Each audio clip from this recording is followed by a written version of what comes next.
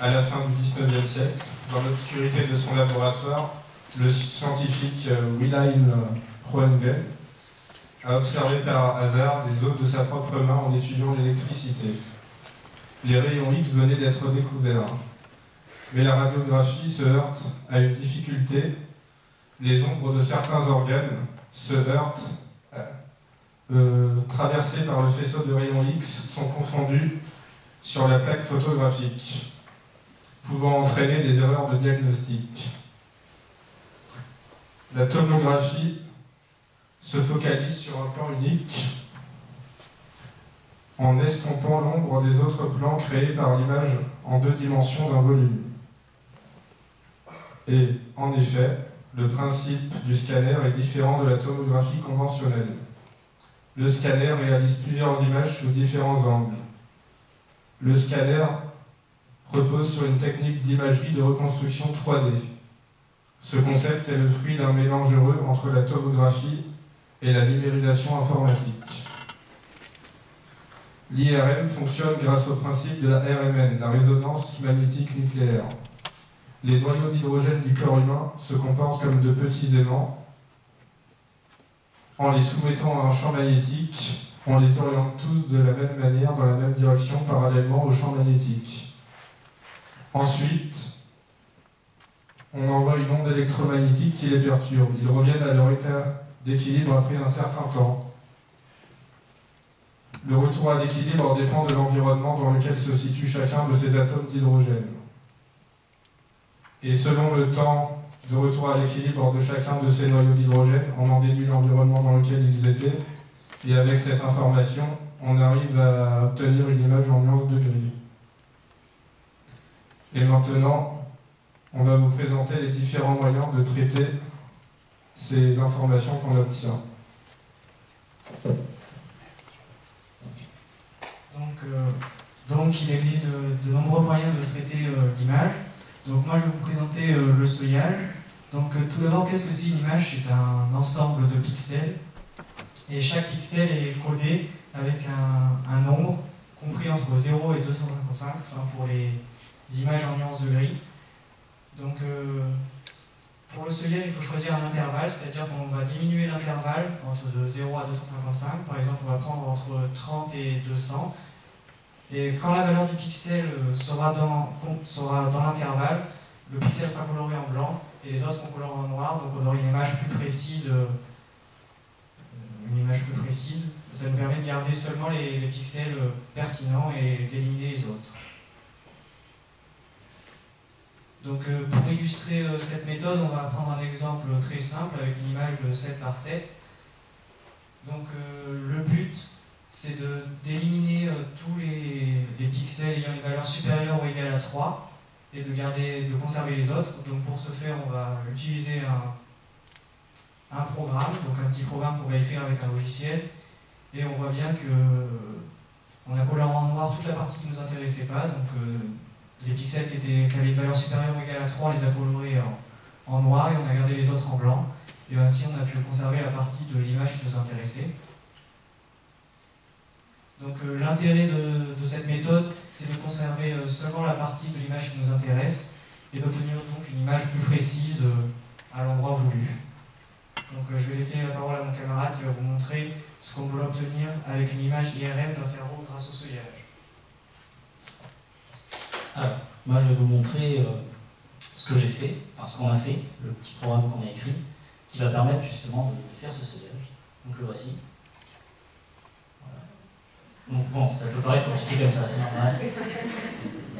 Je ne vais pas vous détailler. En gros, c'est un, un programme qui va lire une image et qui va la réécrire euh, en changeant les pixels qu'on voulait. Donc je vais vous faire un seuillage en direct. Je vais vous montrer l'image, modifier. Voici l'image, le cerveau. Donc là, notre, euh, but avec, euh, avec notre petit programme, ça va être d'éliminer le. enfin d'essayer de de contraster la partie euh, de la substance blanche, notamment. Donc on va essayer d'éliminer le plus de pixels, notamment euh, du crâne, les pixels au centre aussi noirs. Donc ça, on va faire avec, euh, avec le programme. Je vais le lancer.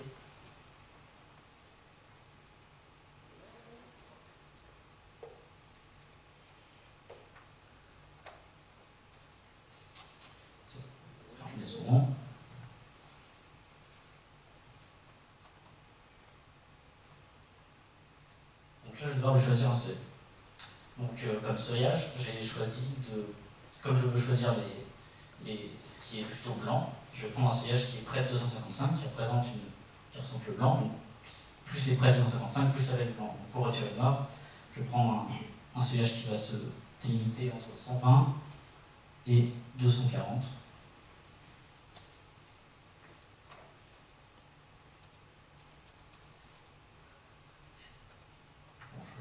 Non, je vais le refaire.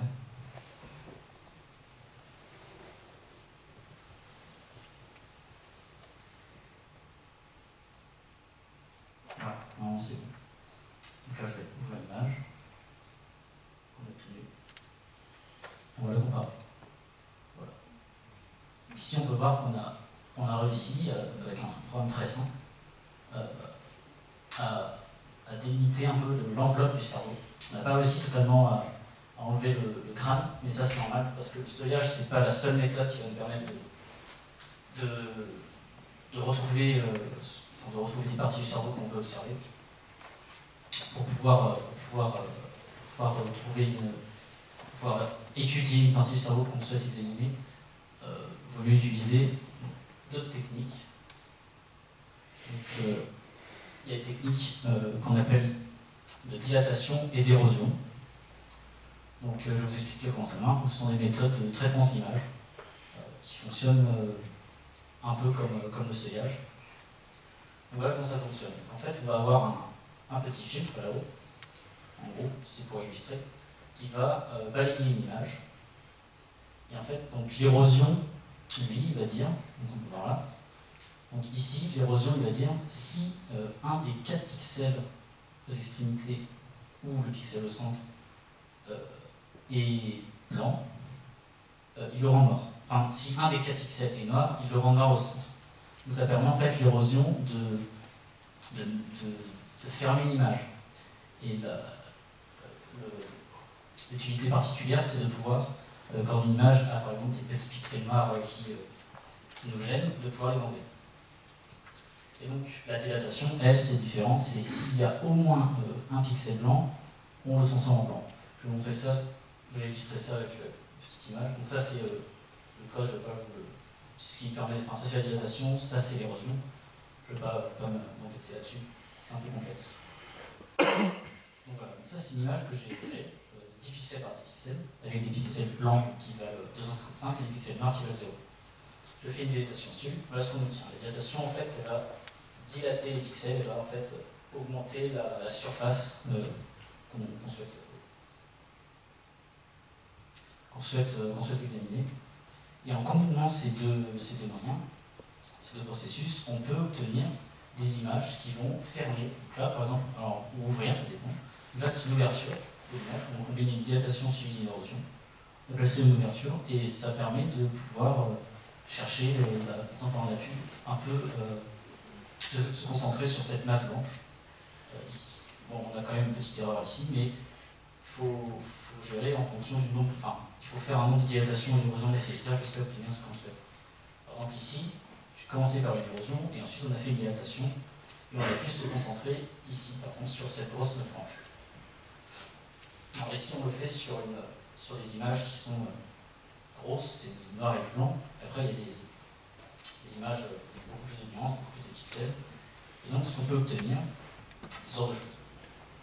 En fait, ici, c'est une image que j'ai obtenue avec plusieurs dilatations, plusieurs érosions.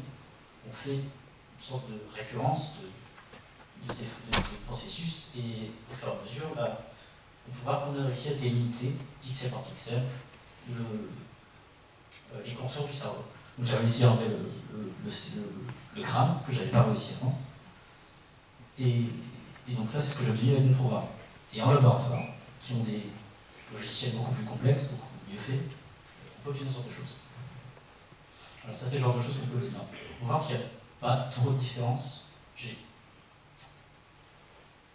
Avec mon programme, j'ai quand même réussi à obtenir les, les limites. Il y a juste l'intérieur que j'ai pas réussi à bien délimiter. Et, euh, et en laboratoire, eux, ils ont obtenu, euh, voilà, ils ont obtenu vraiment une belle enveloppe qui ont bien limité bah, la, la matière blanche, enfin la substance blanche. Voilà. Donc maintenant, je vais laisser la parole à Claire Capdemont euh, pour la suite. Et je vous remercie de nous avoir écoutés.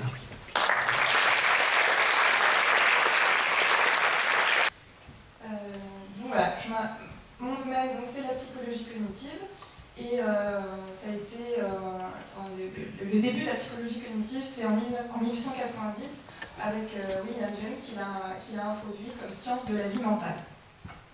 Donc euh, le, but de la, psychologie cognitive en général, c'est d'énoncer les, lois générales de la pensée grâce à des méthodes scientifiques, donc euh, de contrôler euh, tout, ce qui est, toutes les expériences qui sont menées en laboratoire, elles sont contrôlées de sorte à ce que la conclusion puisse être solide et, voilà. Voilà, un des buts, euh, notamment dans mon laboratoire, c'est de décrire le développement des mécanismes de la pensée, d'observer euh, l'organisation et la biologie du cerveau en développement. Euh, donc c'est une discipline qui est vraiment dans l'interface de beaucoup d'autres disciplines, notamment la biologie, donc pour, comprendre tout ce qui se passe au niveau cellulaire au cours du développement, mais aussi au cours du vieillissement. Les mathématiques qui permettent, donc il y a les mathématiques qui permettent de modéliser par exemple tout ce qu'on va, tout ce qu'on va, tout ce qu'on va trouver. Euh, la physique qui permet d'acquérir les, données, d'avoir euh, par exemple tous les développemps de, l'IRM, etc. C'est des physiciens qui ont travaillé dessus avant. L'informatique, ça c'est vraiment utilisé euh, tous les jours. En laboratoire, c'est des, gens sur des ordinateurs. La philosophie qui nous permet d'aborder, enfin de, définir les, grands, grandes questions en fait, qui, vont, qui, vont, qui vont animer nos recherches.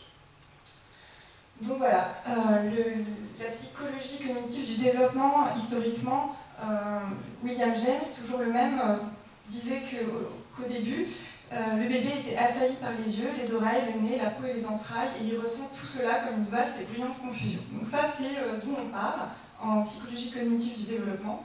On pensait au début que le bébé était vraiment quelque chose de très passif, qu'il n'était euh, pas du tout euh, capable d'être actif sur son environnement et de, générer,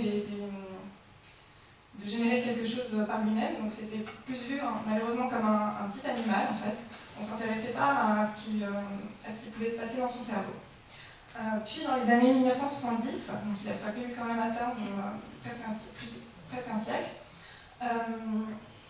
il y a eu le développement de méthodes expérimentales rigoureuses fondées sur l'observation du comportement des bébés. Euh, donc euh, c'est toujours des mesures indirectes. Euh, on ne peut pas observer le, cerveau du bébé facilement. et ce qu'on va observer en fait, c'est la surprise du bébé au travers de mesures comme le rythme cardiaque. Donc le, bébé va, avoir une, activité cardiaque plus faible quand il est surpris ou plus, plus élevée. Enfin, ça dépend des conditions. Euh, et du, de ce qu'on appelle la surprise en fait. Donc, euh, voilà, il y a l'activité de succion qui va être. Euh, il y a, donc il y a le réflexe de succion chez les bébés qui va être modulé en fait par, par ce qu'il qu'il voit, par ce qu'il entend. Il y a le temps de regard. donc un bébé va regarder plus longuement quelque chose de nouveau, par exemple. Encore une fois, ça dépend des, conditions, ça dépend de son âge, de son niveau de développement. Et donc euh, tout ça va, permettre de mettre en évidence les multiples compétences du bébé dès la naissance. J'espère que je vais pouvoir vous en donner un petit aperçu. Euh, donc voilà, ensuite il y a eu la, révolution numérique, donc avec l'arrivée de la biologie non invasive, on peut désormais explorer le cerveau du bébé en bonne santé et son évolution.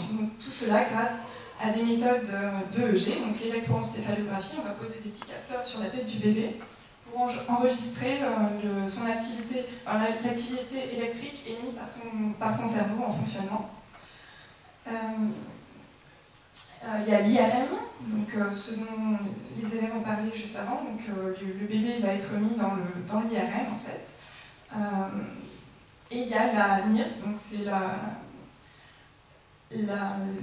spectroscopie en proche infrarouge qui est très facile d'utilisation également. Donc c'est simplement un petit bandeau posé sur la tête du bébé qui va, qui va récupérer euh, son activité, euh, euh, son activité cérébrale. donc toutes ces méthodes permettent notamment la mesure de l'évolution de l'anatomie du cerveau au cours du développement et l'observation du cerveau en fonctionnement. Donc le, développement du cerveau en, tant qu'organe, ici, ça a été mis en évidence grâce à l'IRM. donc voilà, on peut étudier le développement structurel du cerveau.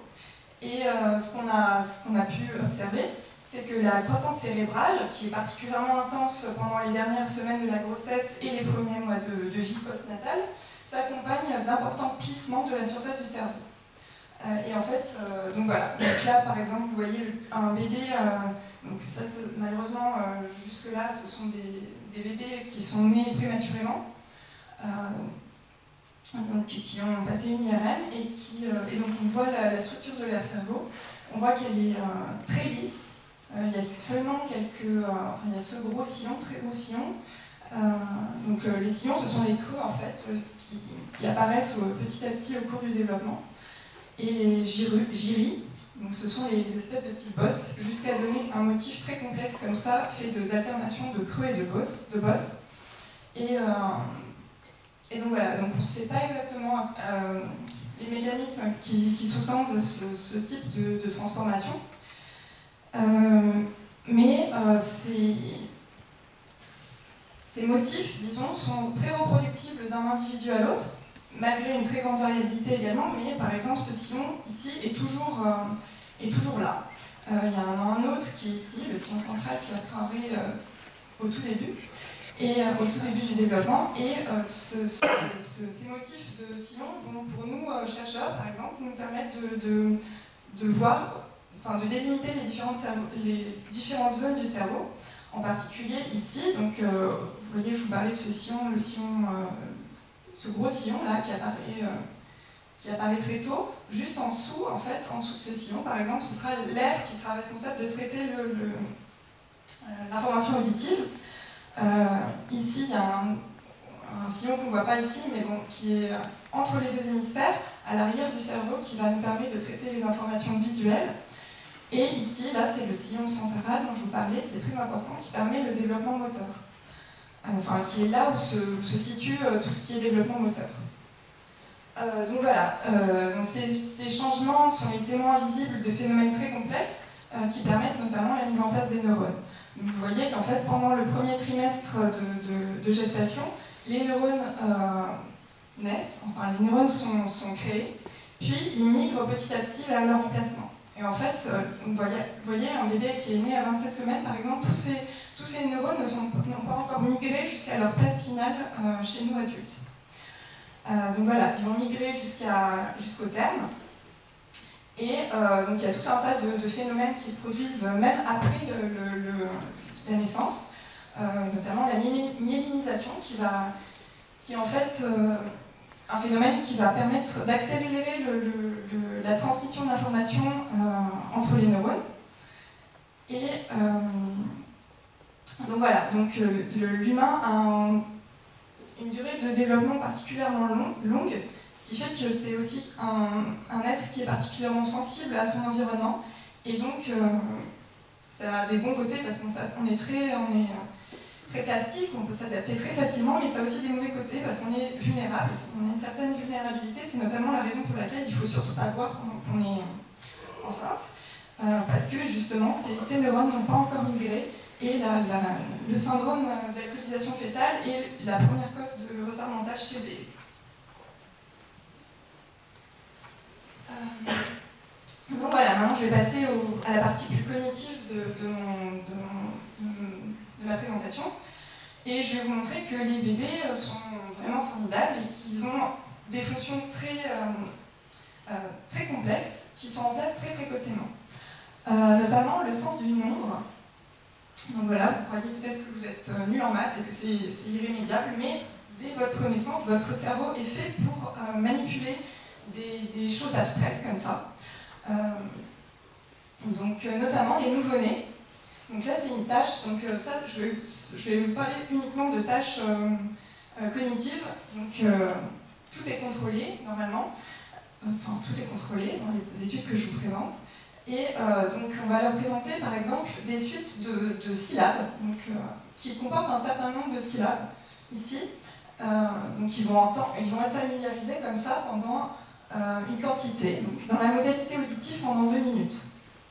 Donc on va leur présenter une suite de tu, par exemple, tu, tu, tu, tu, tu, ra, ra, ra, ra, ra, etc. Tout cela pendant deux minutes. Donc le bébé entend ça pendant deux minutes. Et ensuite, on leur présente des images contenant un certain nombre d'objets et on va mesurer leur temps de regard. Et ce qu'on observe, c'est que euh, le temps de regard est, plus, euh, est, plus, important lorsque le, nombre est congruent. Donc, euh, congruent number ici, lorsque le nombre d'objets sur l'image est congruent avec le nombre d'items auxquels ils ont été familiarisés pendant deux minutes, ils vont regarder plus longtemps. Ce qui veut dire qu'ils font une différence entre image comme ça ou une image comme ça, en fonction de la familiarisation qu'ils ont eue. Donc, cette, euh, cette étude, euh, publiée en 2009, donc c'est des résultats quand même intéressants, montre que les bébés sont vraiment capables d'avoir une, une, euh, une, notion de quantité assez abstraite dès, à, à, 49, de vie, 49 heures de vie postnatale.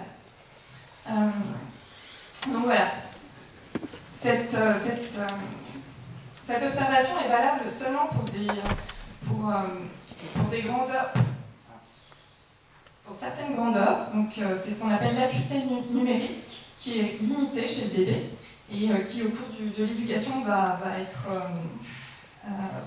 va être de plus en plus précise à force de manipuler des nombres. Donc cette acuité numérique, en fait, ça, ça définit le, le, rapport entre deux quantités qu'on peut discriminer. Donc par exemple là, ils ont, ils ont bien fait la différence entre 4 versus 12, donc quand ils étaient familiarisés à 12, 12 euh, sons par exemple, ils vont bien faire la différence quand ils en, voient que 4. Euh, de même entre 6, 6, et 18. Par contre, entre 4 et 8, ils ne vont pas faire la différence. Donc ce rapport ici, qui est de 1,5, est trop faible pour eux. Euh, donc il faut, il un rapport de 1 à 3. Euh, à la naissance, pour qu'ils puissent discriminer ces, deux quantités. Euh, donc dans, d'autres études, dans des études en imagerie notamment, euh, au niveau cérébral, on va observer très précocement un système très proche de celui de, l'adulte en réponse à un changement de nombre. Donc voilà, c'est le même principe que cette expérience. On va regarder la réponse à un changement de nombre. Et on va observer qu'il y a une activité ici dans le lobe pariétal, donc qui est associé notamment à tout ce qui est euh, manipulation de, nombres, tout, ce qui est euh, euh, mathématique en fait. et qui est, donc ici c'est chez l'adulte et ici c'est chez des bébés de 3 mois et on retrouve cette, cette activité pariétale ici qui va être modulée en fonction de, du, du, changement de nombre. Plus le changement de nombre va être grand, plus cette zone va être activée. Donc voilà, tout ça pour vous montrer que les bébés euh, ont très tôt un, système qui est très proche de celui de l'adulte. Euh, un autre exemple, euh, c'est avec des opérations mathématiques cette fois-ci. Ah voilà. Donc les bébés, voilà, il y a cinq objets qui vont apparaître, c'est ce qu'on leur présente, ils vont être cachés, puis il y a cinq autres objets qui vont tomber et qui vont aller dans la boîte. Et hop, on retire le, cache de la boîte et on voit qu'il n'y a que 5 objets. Euh, et donc tout ça, on va regarder, en fait, on va, mesurer leur temps de regard euh, à, cet endroit-là. Et ce, ce dont on s'aperçoit, c'est qu'à 9 mois, euh, les bébés vont regarder plus longtemps. donc là, le, graphique n'est pas très clair, je suis désolée sur cette... voilà. donc par exemple, là, quand il n'y avait que 5, 5 en, 5 objets dans la boîte, par exemple, il regardait plus longtemps euh, que quand il y en avait 10. Donc ce qui prouve, enfin, qui laisse fortement supposer qu'il euh, est surpris par ce, par ce, résultat-là. Euh, donc voilà, ce qui montre qu'à 9 mois, les bébés sont capables d'anticiper les résultats approximatifs d'opérations d'addition. Ils ont montré la même chose avec la, soustraction. Donc voilà, les bébés regardent plus longtemps, dans ce cas-là, l'événement impossible. Euh, un autre euh, résultat impressionnant, euh, publié récemment également dans une très bonne revue, c'est le, développement du sens des probabilités. donc là, c'est chez des bébés de 12 mois. on va leur présenter ce type, de, stimuli. Donc sur un écran d'ordinateur, ils vont voir ces quatre, pardon, ils vont voir cette urne qui est, donc initialement elle est masquée en fait, il voit pas ce qu'il y a dedans, puis il voit qu'il y a trois petits objets jaunes et un petit objet bleu ici. Ensuite, l'urne va être petit à petit obscurci, pardon, donc ils ne vont plus voir ce qu'il y a dedans. Et dans un cas, ils vont voir que euh, de cette urne va sortir un élément. Donc ce sera soit un élément bleu ici, soit un élément jaune. Et euh, donc euh, vous avez tous fait des, probabilités et vous savez qu'il y a plus de chances que ce soit un élément jaune qui sorte. Et le bébé, sans avoir fait de probabilité, en fait, il va regarder plus longtemps l'événement improbable. Donc il va regarder plus longtemps cette, cette image-là, quand ce sera l'élément bleu qui va être sorti. Donc ce qui prouve que les bébés, enfin ce qui, ce qui prouve fortement que les bébés ont un sens des probabilités de manière très précoce. Euh, donc ils ont contrôlé, donc euh, voilà, ils regardent plus longtemps l'événement probable que l'événement improbable. Euh, et donc, donc, les auteurs ont fait ça très bien, ils ont fait une situation de contrôle pour vérifier que ce ne sont pas simplement les caractéristiques physiques de la situation finale, par exemple le fait que là ce soit que l'élément unique soit sorti et que les trois éléments soient ensemble, euh, alors que là il y, a, plus de variabilité quelque part, parce qu'on peut, on peut toujours interpréter des choses euh, plus compliquées. Euh, donc ils ont fait une situation de contrôle pour vérifier que ce ne sont pas seulement ces, ces, propriétés-là que, que l'enfant note ici, mais bien la plausibilité de la situation finale. Donc ce qu'ils ont fait, c'est qu'ils ont fait la même chose. Donc la situation est vraiment strictement la même, sauf qu'ils ont mis euh, deux compartiments dans l'urne. Donc, euh, donc en fait, euh, le, comme il y a deux compartiments, seul l'élément bleu peut sortir.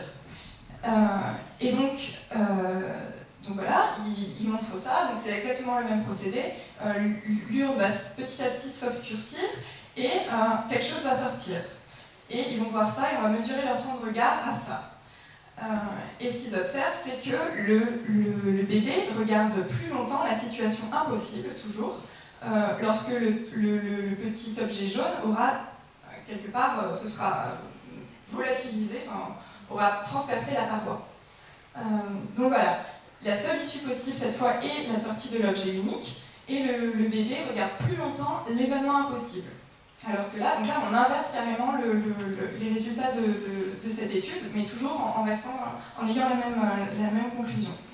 Euh, donc voilà, ça, ça a été répliqué euh, récemment, enfin, peu après, chez, chez le bébé de 8 mois, euh, un an après, donc dans toujours cette très bonne revue.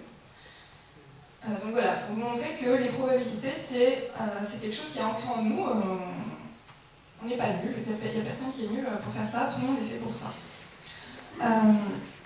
Donc là, je vais vous parler d'un autre domaine, donc, qui est le langage, euh, euh, qui est le, domaine auquel je m'intéresse personnellement, euh, et qui est très intéressant parce que c'est un peu un mystère de l'évolution, pourquoi, pourquoi les êtres humains ont un langage, pourquoi il est si compliqué. Et voilà, on est les seuls, les seuls animaux sur Terre à, parler, à avoir un langage aussi compliqué et, qui présente caractéristiques qu'on ne partage pas avec euh, même, euh, même euh, les singes.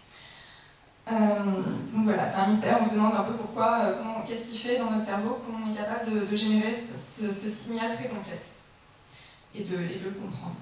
Et surtout, pour le bébé notamment, qu'est-ce qui fait qu'il est capable de, sans, apprentissage préalable, qu'est-ce qui fait qu'il est capable de comprendre ce langage?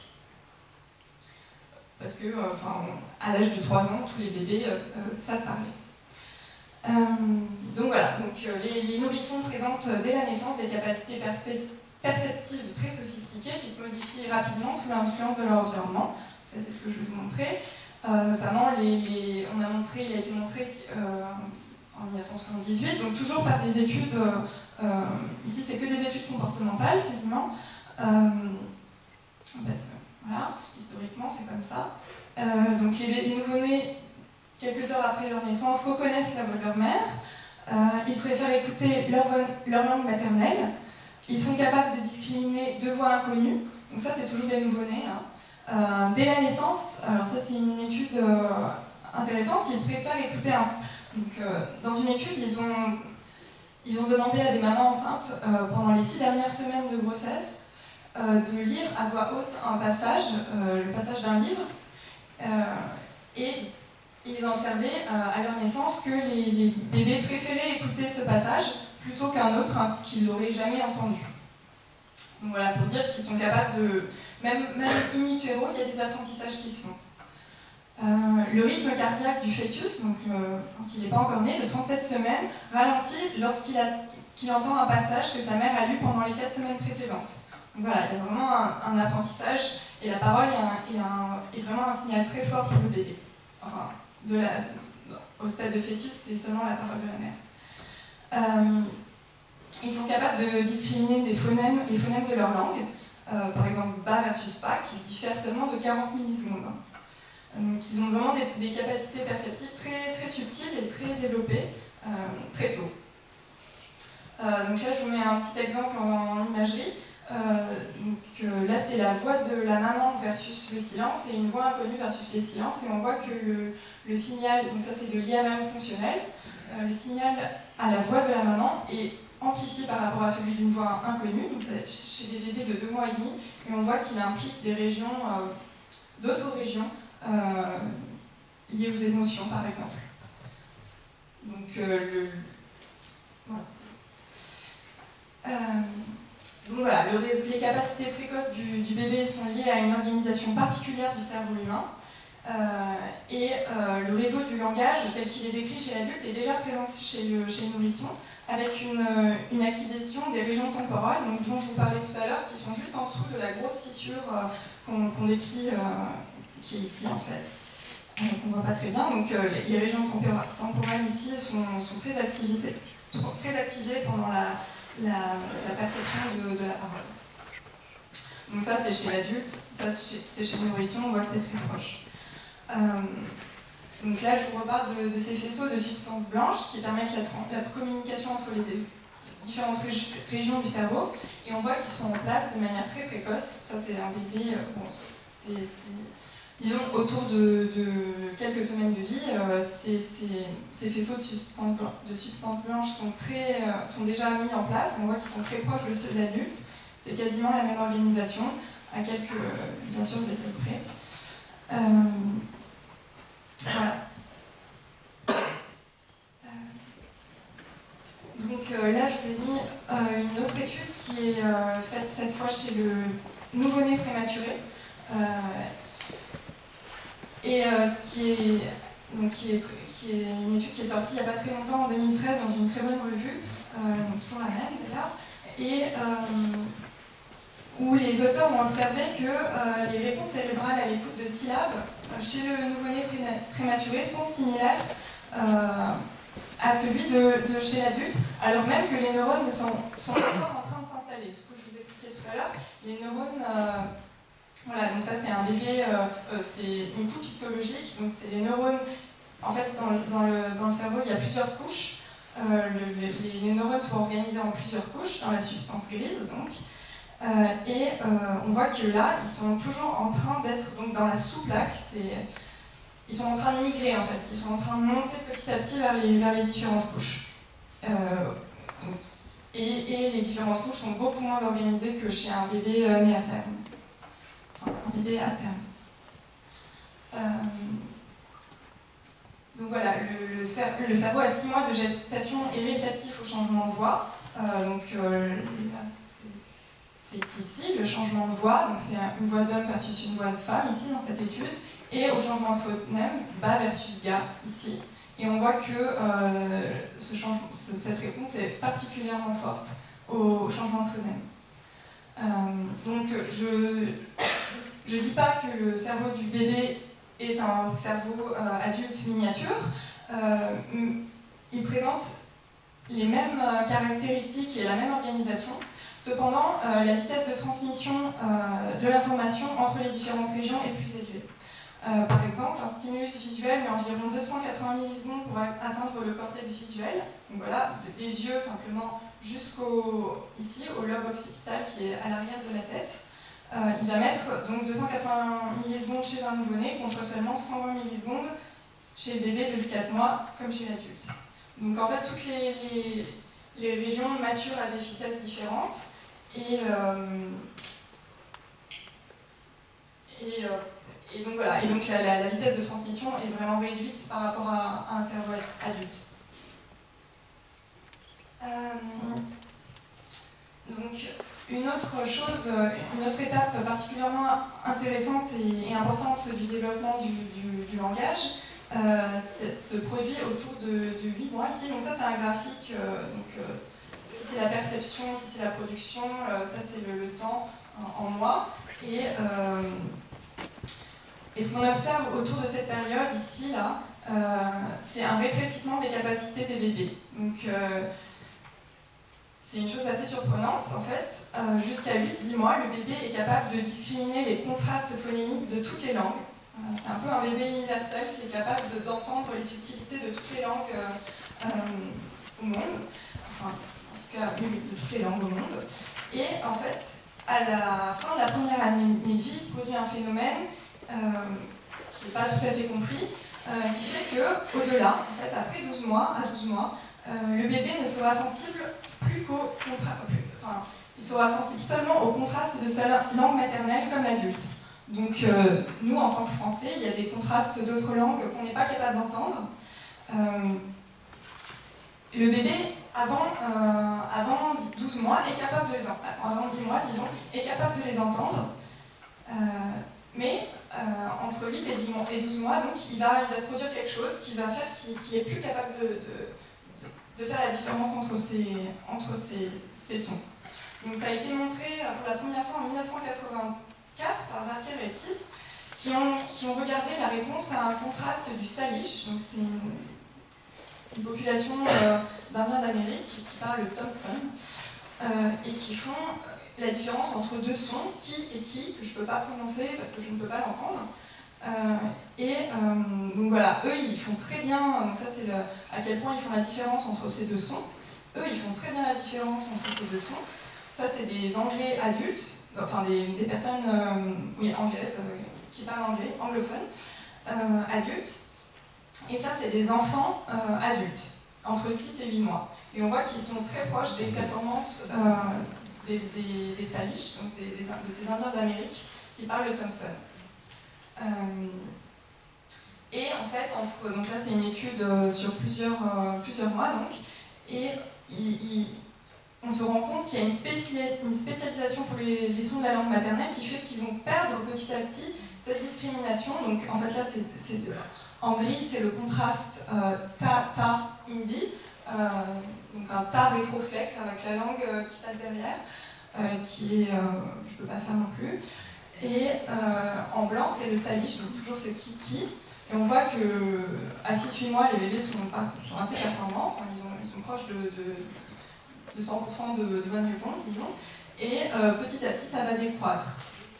Et donc ça, ce sont à, 11-12 mois, ça c'est les performances d'enfants de, pour le contraste indie et le, d'enfants euh, indiens pour le contraste salish. Et on voit qu'ils sont, euh, enfin c'est pas une histoire euh, de, que tous les bébés vont perdre cette, capacité, non, eux ils la gardent parfaitement. donc voilà, donc, tout ça pour dire qu'en fait le bébé du cerveau entre 8 et 12 mois va absorber quelque part les, propriétés acoustiques de sa langue maternelle et euh, l'environnement linguistique dans lequel il est baigné va peu à peu modifier sa perception des sons. Euh, donc cette période est une, étape très importante du développement, appelée période critique ou sensible, euh, car au-delà de celle-ci, la discrimination se fait de plus en plus difficilement. un bébé pourra toujours enfin, reapprendre en quelque sorte les, contrastes s'il est baigné dans un autre environnement. Si un bébé anglais va, va, dans un environnement salish, il va quelque part euh, rattraper ce petit retard, mais euh, ça, se fera toujours plus difficilement et il aura toujours des résultats un peu moins bons que ceux qui ont baigné dans, cette langue euh, depuis le début. Et nous, on peut constater tous les jours que apprendre une deuxième langue, c'est difficile, il y, a des, choses qu'on n'entend pas, on n'est pas capable d'entendre de, et de produire. Donc voilà, d'où l'importance en fait de parler au bébé. Euh, Ce n'est pas un animal comme on le pensait au début, il n'est pas assailli par tous ces sons, il les traite en permanence et euh, euh, il, les utilise et, son, activité cérébrale est modulée par tout ça. Donc voilà, notamment, c'est la raison pour la, enfin, c'est pas la raison pour laquelle, mais si ça doit bien être lié, c'est la raison pour laquelle on, prend des intonations particulières quand on parle à des bébés. Et il y a des études qui ont montré que plus les parents apprenaient ce, type d'intonation, voilà, très lent, en articulant très bien et en, marquant très bien les différences entre les, différentes, euh, les différents phonèmes. Euh, donc plus les parents parlaient euh, de manière claire dans cette, ce qu'on appelle le mamané, c'est quand la maman parle à son enfant en, insistant bien sur toutes les, syllabes. donc plus la maman et le, papa et son environnement parlaient de manière distincte au bébé, mieux il aurait, enfin meilleures seraient ses performances par la suite. Sur ce type de tâche, bien sûr, ça va pas prévoir. Euh, donc voilà, il y a des études qui se sont intéressées, euh, donc euh, vous posez peut-être la question comment on fait pour limiter, pour, pour, pour ne pas, enfin, pour repousser cette période critique là et pour, pour pouvoir réapprendre des sons comme ça. Donc des, chercheurs américains se, sont, se sont posés cette question et ont essayé de, limiter ce rétrécissement des capacités de discrimination. Et ils ont présenté à des bébés américains de 9 mois euh, ces bébés vont, bénéficier d'une exposition au chinois mandarin euh, pendant 12 sessions de 25 minutes durant 4 semaines. Euh, et un autre groupe, donc ils ont contrôlé le résultat bien sûr avec un autre groupe qui serait simplement exposé à l'anglais. et donc ils ont constitué, donc dans ces bébés qui sont exposés au chinois mandarin, ils ont fait trois groupes.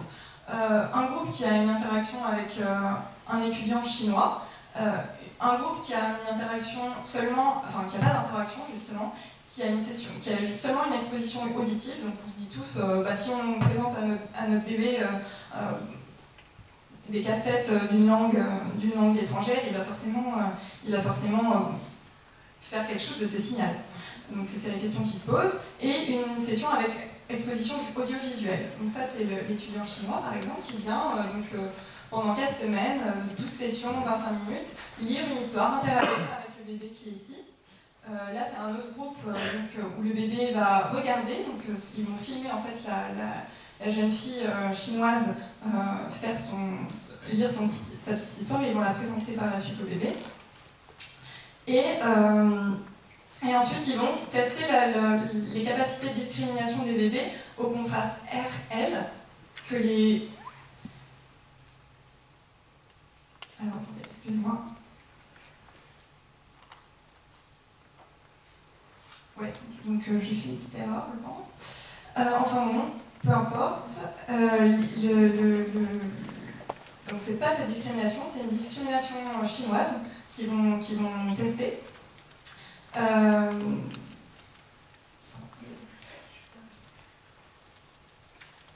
Voilà. Et donc, donc euh, c'est pas la discrimination RL, excusez-moi, c'est une autre, euh, discrimination. Et euh, ce qui prouve, donc déjà dans, un premier temps, c'est que les bébés américains de 9 mois qui vont être exposés aux Chinois vont avoir de meilleures discriminations, de meilleures capacités de discrimination que des bébés américains exposés à, l'anglais, donc qui n'ont pas bénéficié de, ce, de, ces, 4 semaines de, de familiarisation. et ce qui est très intéressant, c'est que euh, les bébés qui ont, qui ont bénéficié seulement de l'exposition audiovisuelle ou audio seulement euh, montrent les mêmes capacités que les bébés qui ont été exposés à l'anglais. Euh, ce qui montre que les interactions sociales dans ce type d'apprentissage sont cruciales. Et donc voilà. Euh, donc, euh, en fait, on ne peut pas simplement euh, mettre notre bébé devant la télévision en chinois et espérer qu'il va apprendre le chinois. Il faut absolument qu'il y ait une interaction sociale, même pour ce type de contraste très simple. Alors, c'est pas RL, je suis désolée, c'est un, autre contraste que je, je me souviens donc voilà, en fait, entre, donc entre 6 et 12 mois environ, c'est assez, variable, euh, il va se produire un phénomène particulier pendant lequel l'environnement euh, culturel du bébé va modifier son fonctionnement cérébral. Et euh, dans une étude récente, il a été montré que ce phénomène semblait être lié plus particulièrement au niveau de maturité du cerveau du bébé et non au temps d'exposition à la langue. Parce qu'on peut se, dire c'est parce que au bout de 8 mois d'exposition à la langue, euh, le bébé va, euh, pour une raison quelconque, va être tellement habitué, va être devenu tellement spécialiste de sa langue qu'il ne pourra plus entendre le reste. Donc on peut se dire c'est seulement une histoire de temps. Euh, en fait, non. Euh, dans cette étude, ils ont, ils ont comparé, euh, alors c'est un peu compliqué, donc ils ont comparé les activités cérébrales de bébés de 9 mois et de 12 mois. Donc il y en avait certains qui étaient nés à terme et d'autres qui étaient périmaturés. Alors pourquoi ils ont fait ça? Parce que les bébés prématurés, bien sûr, bénéficient d'un temps d'exposition un peu plus long à la langue que les bébés qui sont nés à terme, puisqu'ils sont hors du, ventre de leur maman. Euh, et donc ils ont, ils ont testé ça sur le contraste Indi-Da-Da, donc le, Da euh, rétroflexe, une fois de plus que je ne peux pas faire. Euh, donc voilà. Et, et ce qu'il montre, donc voilà, ce qu'il montre, c'est que c'est seulement les bébés qui sont nés 12 mois après le, terme, qu'ils soient théoriques ou, euh, réels, euh, qui vont bénéficier de. Enfin, qui vont, euh, qui vont montrer ce rétrécissement de, de, capacité perceptive. donc voilà, en fait, ça, ce sont les bébés prématurés de 12 mois euh, d'âge maturationnel. Donc ils vont bénéficier de plus de temps d'exposition à la langue. Et ça, ce sont les bébés prématurés de 9 mois qui ont bénéficié aussi de 12 mois d'exposition à la langue parce qu'ils sont nés 3 mois avant, mais qui n'ont que 9 mois d'âge maturationnel. C'est-à-dire que le développement de, leur cerveau, bien sûr, n'en est qu'à 9 mois. On peut pas, euh, la génétique fait que euh, on ne peut pas accélérer ça. Donc voilà, donc ce qui montre que en fait, ce, rétrécissement, euh, des capacités perceptives est vraiment dû à un phénomène biologique euh, qui est lié à la maturation du cerveau. Euh, une, dernière étude que je vous présente, c'est qui étudie la, manière dont les bébés vont découvrir les mots dans le, signal de parole. Parce que c'est pas quelque chose d'évident. Pour nous, ça nous semble évident, bien sûr, mais le signal de parole, si on regarde l'audiogramme de, de, la parole, on va voir qu'il n'y a pas de blanc au moment des, frontières entre les mots, par exemple. Donc, euh, il va falloir déjà que les bébés puissent, puissent extraire les mots comme ça. Euh, donc ils vont reposer, il y a, plusieurs, donc, il y a beaucoup d'études qui ont été faites sur ce sujet, euh, comment les bébés font pour récupérer les mots dans la parole. et plusieurs études sont intéressées aux indices prosodiques et acoustiques. Donc les bébés utilisent ce type d'informations. Donc euh, toujours cette histoire de même année, euh, quand on, quand on, articule très bien, les bébés vont, se reposer sur votre, euh, votre articulation, votre intonation, la prosodie pour, pour pouvoir trouver les mots là-dedans. ils vont utiliser l'information de fréquence d'apparition des sons dans la parole, notamment pour identifier les mots de fonction. le, la, les, je, tu, il, etc. Tous les mots qui sont grammaticaux en fait, pas lexicaux. Et ils vont s'appuyer sur, ces mots pour pouvoir trouver les autres mots. Donc tout ça, c'est assez impressionnant.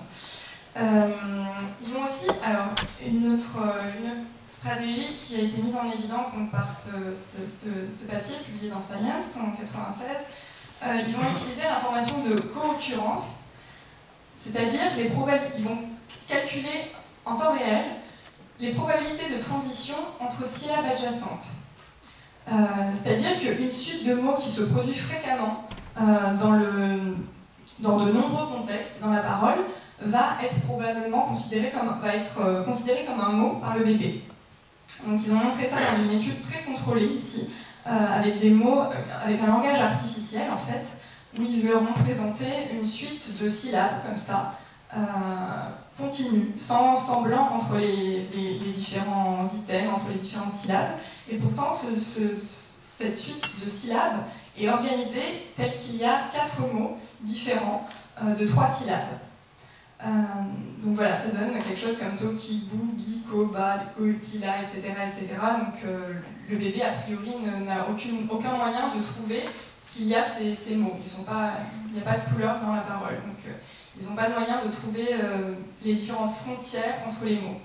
Et en fait, cette histoire de probabilité de transition, c'est qu'en fait, dans, ce signal ici, euh, la probabilité de passer de taux à qui va être égale à 1, tandis que la probabilité de passer de bou à gui, donc, et de bas à go, et de là à ti, puisque c'est entre les mots, va être égale à un tiers ou un quart, je ne sais plus. Un tiers. Et donc voilà.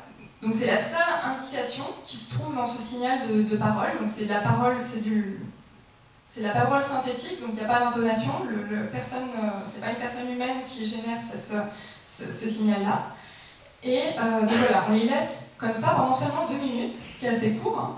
euh, et on leur, on leur, fait écouter en boucle ce type de, de, de, séquence. Et ensuite, on va leur laisser, écouter euh, des, chaînes de trois syllabes qui sont soit des mots, donc telles qu'elles sont définies par ces probabilités de transition.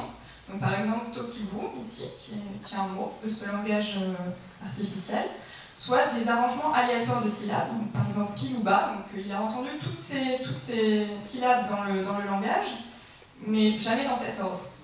Soit des parties de mots, donc euh, bougiko, euh, pour lequel il a déjà entendu, donc il a déjà entendu bougiko, exactement dans cet ordre, mais il y a une frontière entre les deux. Donc euh, la probabilité de passer de bou à gi est égale à un tiers seulement, tandis que, euh, par exemple ici, la probabilité de passer de to à ki est égale à 1, et de ki à bout est égale à 1. Donc euh, c'est la seule information dont il dispose.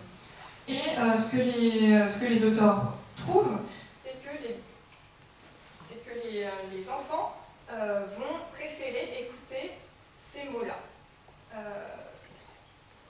montrant qu'ils ont vraiment fait un calcul en fait et qu'ils sont capables de, faire la différence entre ces trois, euh, entre ça et ça, et ça et ça. Euh, Mais non, regarde, elle pas dedans. Donc voilà, ils sont capables de faire des calculs très complexes. Euh, et c'est ma conclusion. Donc voilà, la psychologie expérimentale et l'imagerie médicale combinées permettent d'interroger les capacités des enfants dès leur plus jeune âge euh, et euh, ces méthodes permettent de comprendre les différentes étapes du développement, tant du point de vue biologique, donc avec la formation des pissements par exemple, que du point de vue cognitif. Et euh, donc ce que évoqué dans la dernière partie, c'est que les bébés présentent une organisation cérébrale très proche de l'adulte et qu'ils ont des capacités computationnelles, de calcul, etc. très développées, mais qu'il leur faut pour cela, enfin pour pouvoir les, les, mettre en, en œuvre, et les mettre à profit bien sûr, il leur faut un environnement riche euh, pour développer ces fonctions cognitives. Voilà.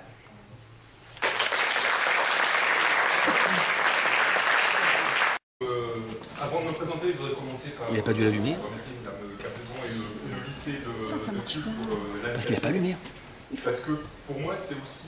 Il faut allumer le micro. Pour moi, c'est aussi intéressant et c'est un défi aussi d'essayer d'expliquer ce qu'on fait, qui est relativement euh, technologique, euh, relativement complexe, de, savoir euh, réussir à, expliquer ce qu'on fait quelque part aux personnes qui payent les impôts, qui permettent de réaliser toute cette recherche publique. Donc ça me paraît aussi normal de, venir l'expliquer devant vous.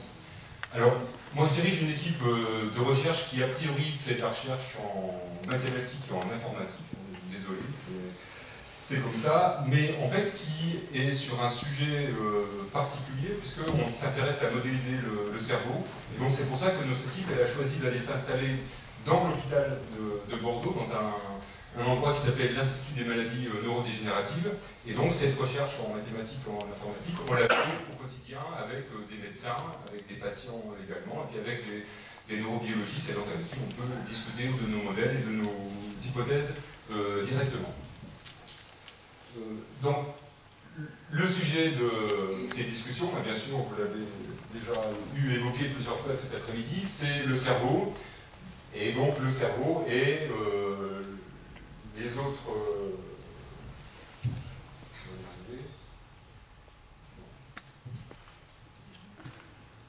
donc le, cerveau et ses constituants, qui sont donc le, neurones,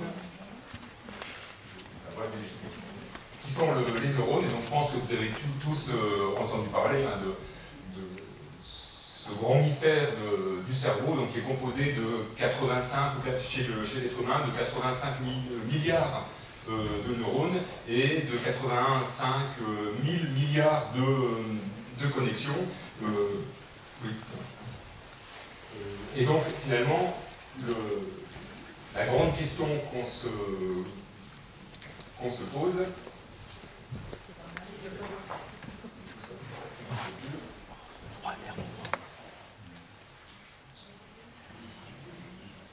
Voilà. La grande question qu'on se pose, c'est finalement si on considère ce, réseau, donc vous imaginez, un, réseau avec euh, quelques, euh, quasiment 100 milliards de, d'objets qui sont interconnectés les uns euh, avec les autres et par, lesquels euh, il y a des informations qui, s'échangent, comprendre comment est-ce que ce système est capable de nous faire parler, de nous faire voir, de nous faire entendre, de, nous déplacer, etc.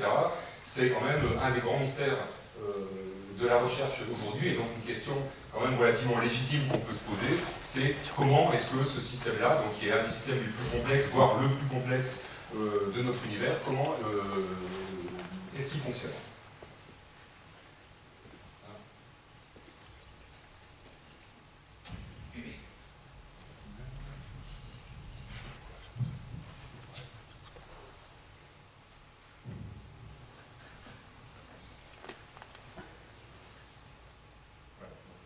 Toujours la même, c'est comment fonctionne le,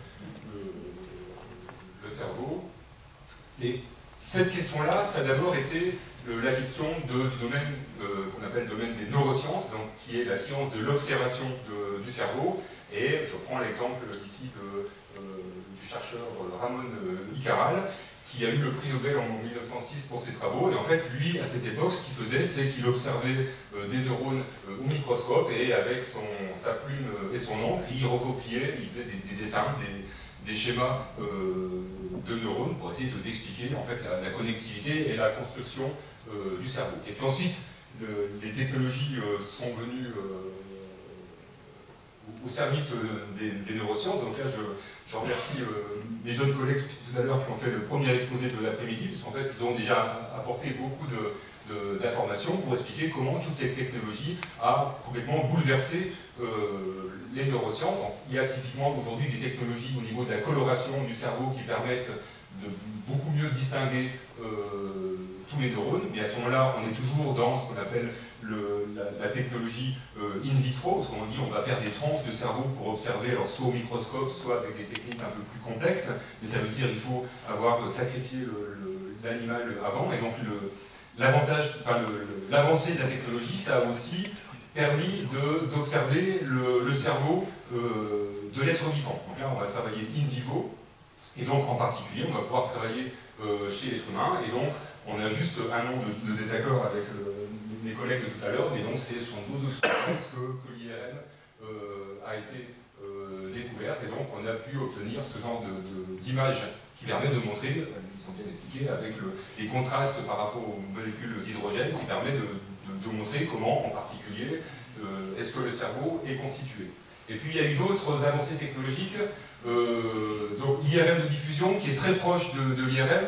La seule différence, c'est que ça va permettre de euh, mieux distinguer ce, qu'on a, ce que Claire a nommé tout à l'heure la, substance blanche, donc les, les, axones, on dit les grandes autoroutes de, connexion qu'il y a euh, entre les, neurones dans le cerveau. Donc ça, c'est une technique d'IRM qui permet d'observer cette, connectivité.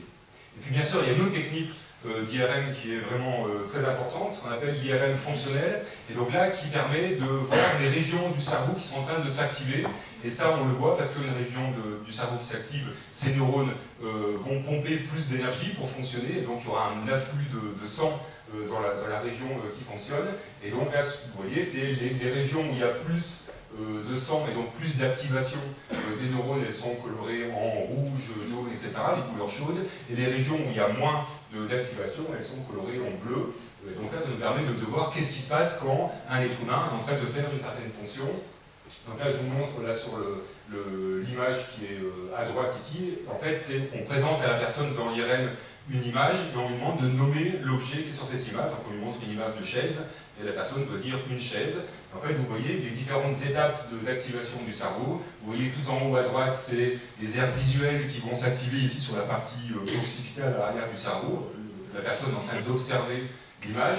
Ensuite, sur la partie du milieu, c'est ce qu'on appelle l'accès l'accès lexical, parce qu'on dit la personne se dit qu'est-ce que c'est, en train de chercher le, mot. Donc là, c'est les, aires dont, dont Pierre parlait tout à l'heure sur la partie euh, temporale ici du cerveau qui s'active, et puis un tout petit peu devant ce qu'on appelle l'aire de, Broca qui va permettre de préparer la production de, la parole, et puis tout en bas, bah, c'est la production, la personne est en train d'articuler, et donc il y a cette euh, aire qui s'active aussi carrément les aires motrices qui s'activent parce que vous êtes en train de bouger votre, votre appareil phonatoire pour parler.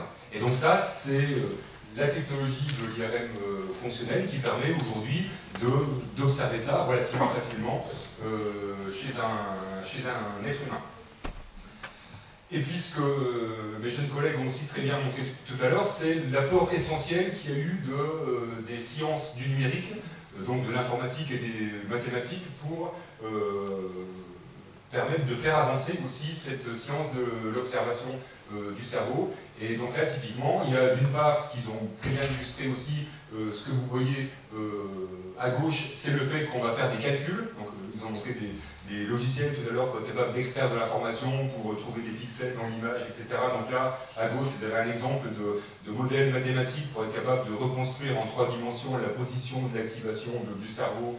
Euh, donc là, ça demande des modèles mathématiques parfois relativement complexes, et donc il faut des ordinateurs complexes pour réussir à, faire ces, calculs-là. Et puis ce que vous voyez à droite, qu'ils ont aussi mentionné, c'est le traitement d'image. Donc là, quand vous considérez euh, une séquence d'IRM, on, va prendre des centaines ou des milliers d'images qu'il faut ensuite traiter. Donc là aussi, il y a plein de problèmes de, stockage, de traitement de, l'information, euh, et puis aussi des algorithmes relativement complexes dont ils ont montré quelques exemples. Donc là aussi, les sciences du numérique sont, euh, ont un apport essentiel pour permettre aujourd'hui de mieux comprendre, de mieux amener d'informations à l'observation du cerveau. Et en particulier, je, fais, juste un zoom sur deux grands projets qui y actuellement au niveau, euh, au niveau mondial qui montrent bien justement cette association entre le, numérique et les neurosciences.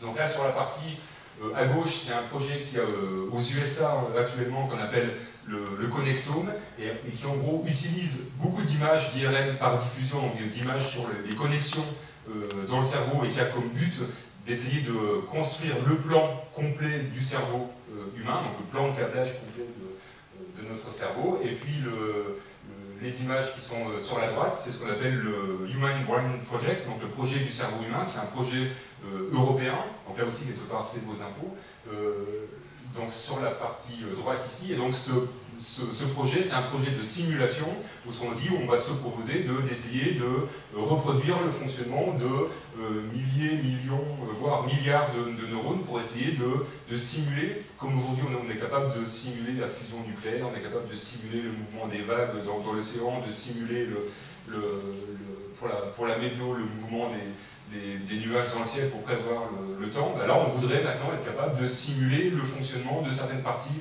euh, de votre cerveau. en tout cas du cerveau d'un être humain de manière euh, générale. Donc ça, c'est des très grands projets de euh, simulation. Ce qui m'amène maintenant à faire une distinction entre simulation, donc là, ce que je suis en train de vous montrer là, et puis l'autre aspect qui est un aspect plus classique et plus fréquent, parce que ça, c'est des projets énormes avec des, milliards et des milliards de dollars ou d'euros pour réussir à mener de, grands projets comme ça à terme. Il y a une autre approche qui s'appelle une approche de modélisation. Et Claire, tout à l'heure, nous a montré en fait plusieurs expériences qui sont euh, vraiment des, expériences typiques de la, euh, de la recherche scientifique qui consistent à faire des modèles. Autrement dit, on va se poser une question, de dire, bah, tiens, est-ce que le bébé est capable de euh, discriminer tel ou tel phonème, par exemple? On va construire une théorie en disant, bah oui, je pense qu'il est capable, ou non, je pense qu'il n'en est pas capable. Et on va ensuite construire une expérience pour essayer de faire ce qu'on appelle falsifier, autrement dit dire est-ce que mon hypothèse elle tient la route? Est-ce que je suis capable par l'expérience de montrer si mon hypothèse euh, euh, résiste aux résultats que je vais observer, ou en tout cas si les prédictions de, mon hypothèse sont vérifiées par les expériences euh, que je fais?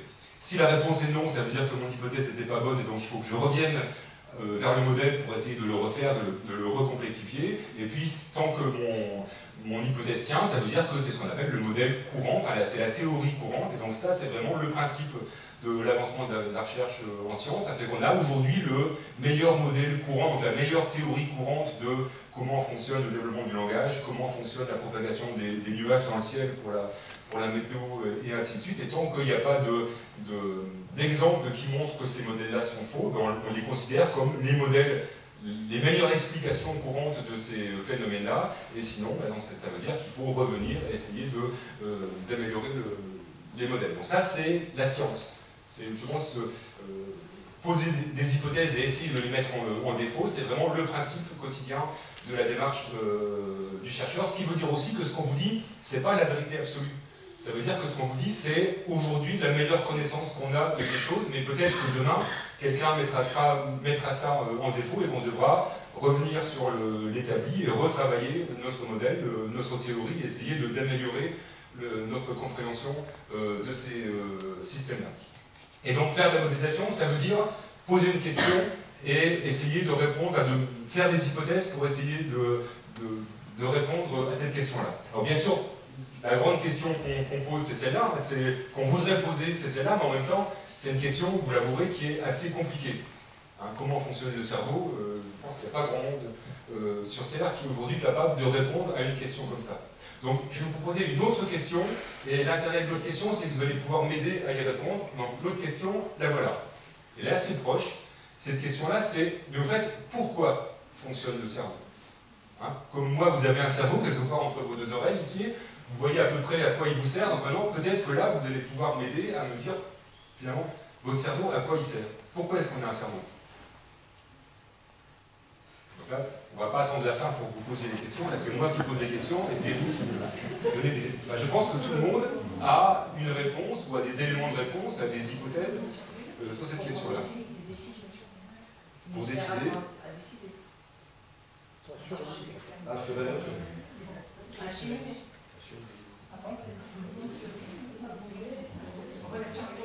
voilà. Voilà, donc je ne répète pas, je donc tout ce, qui, tout ce que j'entends là me paraît assez raisonnable, pardon.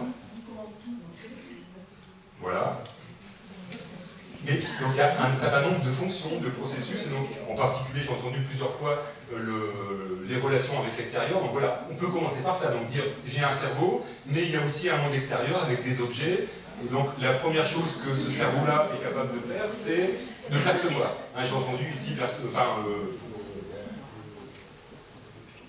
voir, euh, entendre, etc. Donc la première fonction du cerveau, c'est cet objet-là, je suis capable de, le percevoir, de, le toucher, etc. Une autre fonction assez proche que j'ai entendu euh, ici, c'est agir. Hein, ce gâteau-là, c'est bien si je peux le prendre. si c'est un bon que j'ai mangé tout à l'heure, ça me donne envie. Alors, ce qui m'amène à d'autres fonctions, j'ai entendu, bah, c'était euh, le professeur, je crois, qui disait survivre. Euh, une autre fonction euh, indispensable de, ah, Pardon, juste avant, un petit peu de vocabulaire que j'introduis, pardon.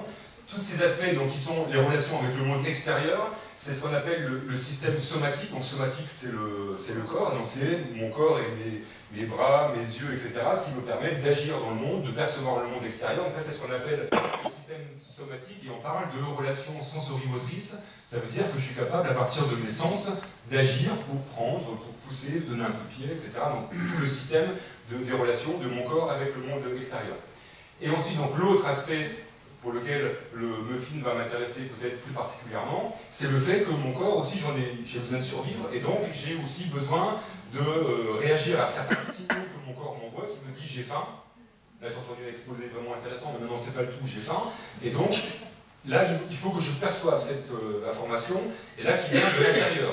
On on va ici d'interoception, donc la perception de l'intérieur de votre corps qui vous dit j'ai faim, j'ai mal, euh, j'ai soif, enfin ce genre d'informations qui sont aussi indispensables pour, en particulier pour survivre.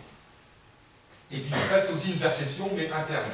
Et de la même manière, il y a aussi des actions, mais qui sont des actions internes, qui vont être par exemple de manger, digérer, etc. Donc c'est aussi des, fonctions qu'on voit moins et qu'on oublie peut-être un peu trop souvent, mais aussi une, raison essentielle de votre cerveau, c'est aussi de commander toute la machine, euh, de commander votre, votre euh, tension cardiaque, de, commander tout le, toute la machinerie, tout le système digestif, etc., euh, qui est dans votre corps.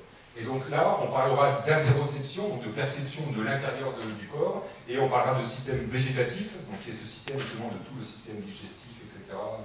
Et puis on parlera de système, limbique pour une raison que je vais développer un peu plus ensuite. Donc voilà, et en fait, euh, si on fait le tour des, fonctions du cerveau, en fait, elles, reposent quand même essentiellement sur ces deux grandes gammes de choses. Donc bien sûr, je vais ensuite développer une intelligence, des compétences pour décider, mais ce sera toujours pour pouvoir agir sur le monde extérieur, ou alors, autrement dit, pouvoir prendre le, gâteau, ou alors pouvoir agir sur le monde intérieur, autrement dit, bah, me dire j'ai faim, donc euh, il faut que je mange, il faut, que je prenne soin de mon corps, euh, ce genre de, choses. ça, c'est vraiment les grandes fonctions euh, essentielles du cerveau.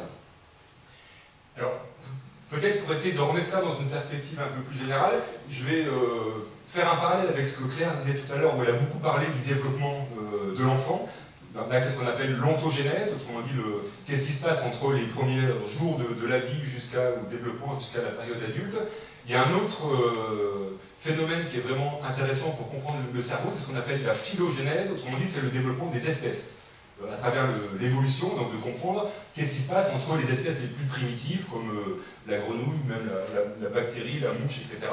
Et puis, si on complexifie, de comprendre l'évolution du cerveau à travers les espèces et comprendre comment est-ce que le comportement intelligent s'est complexifié au fur et à mesure de l'évolution.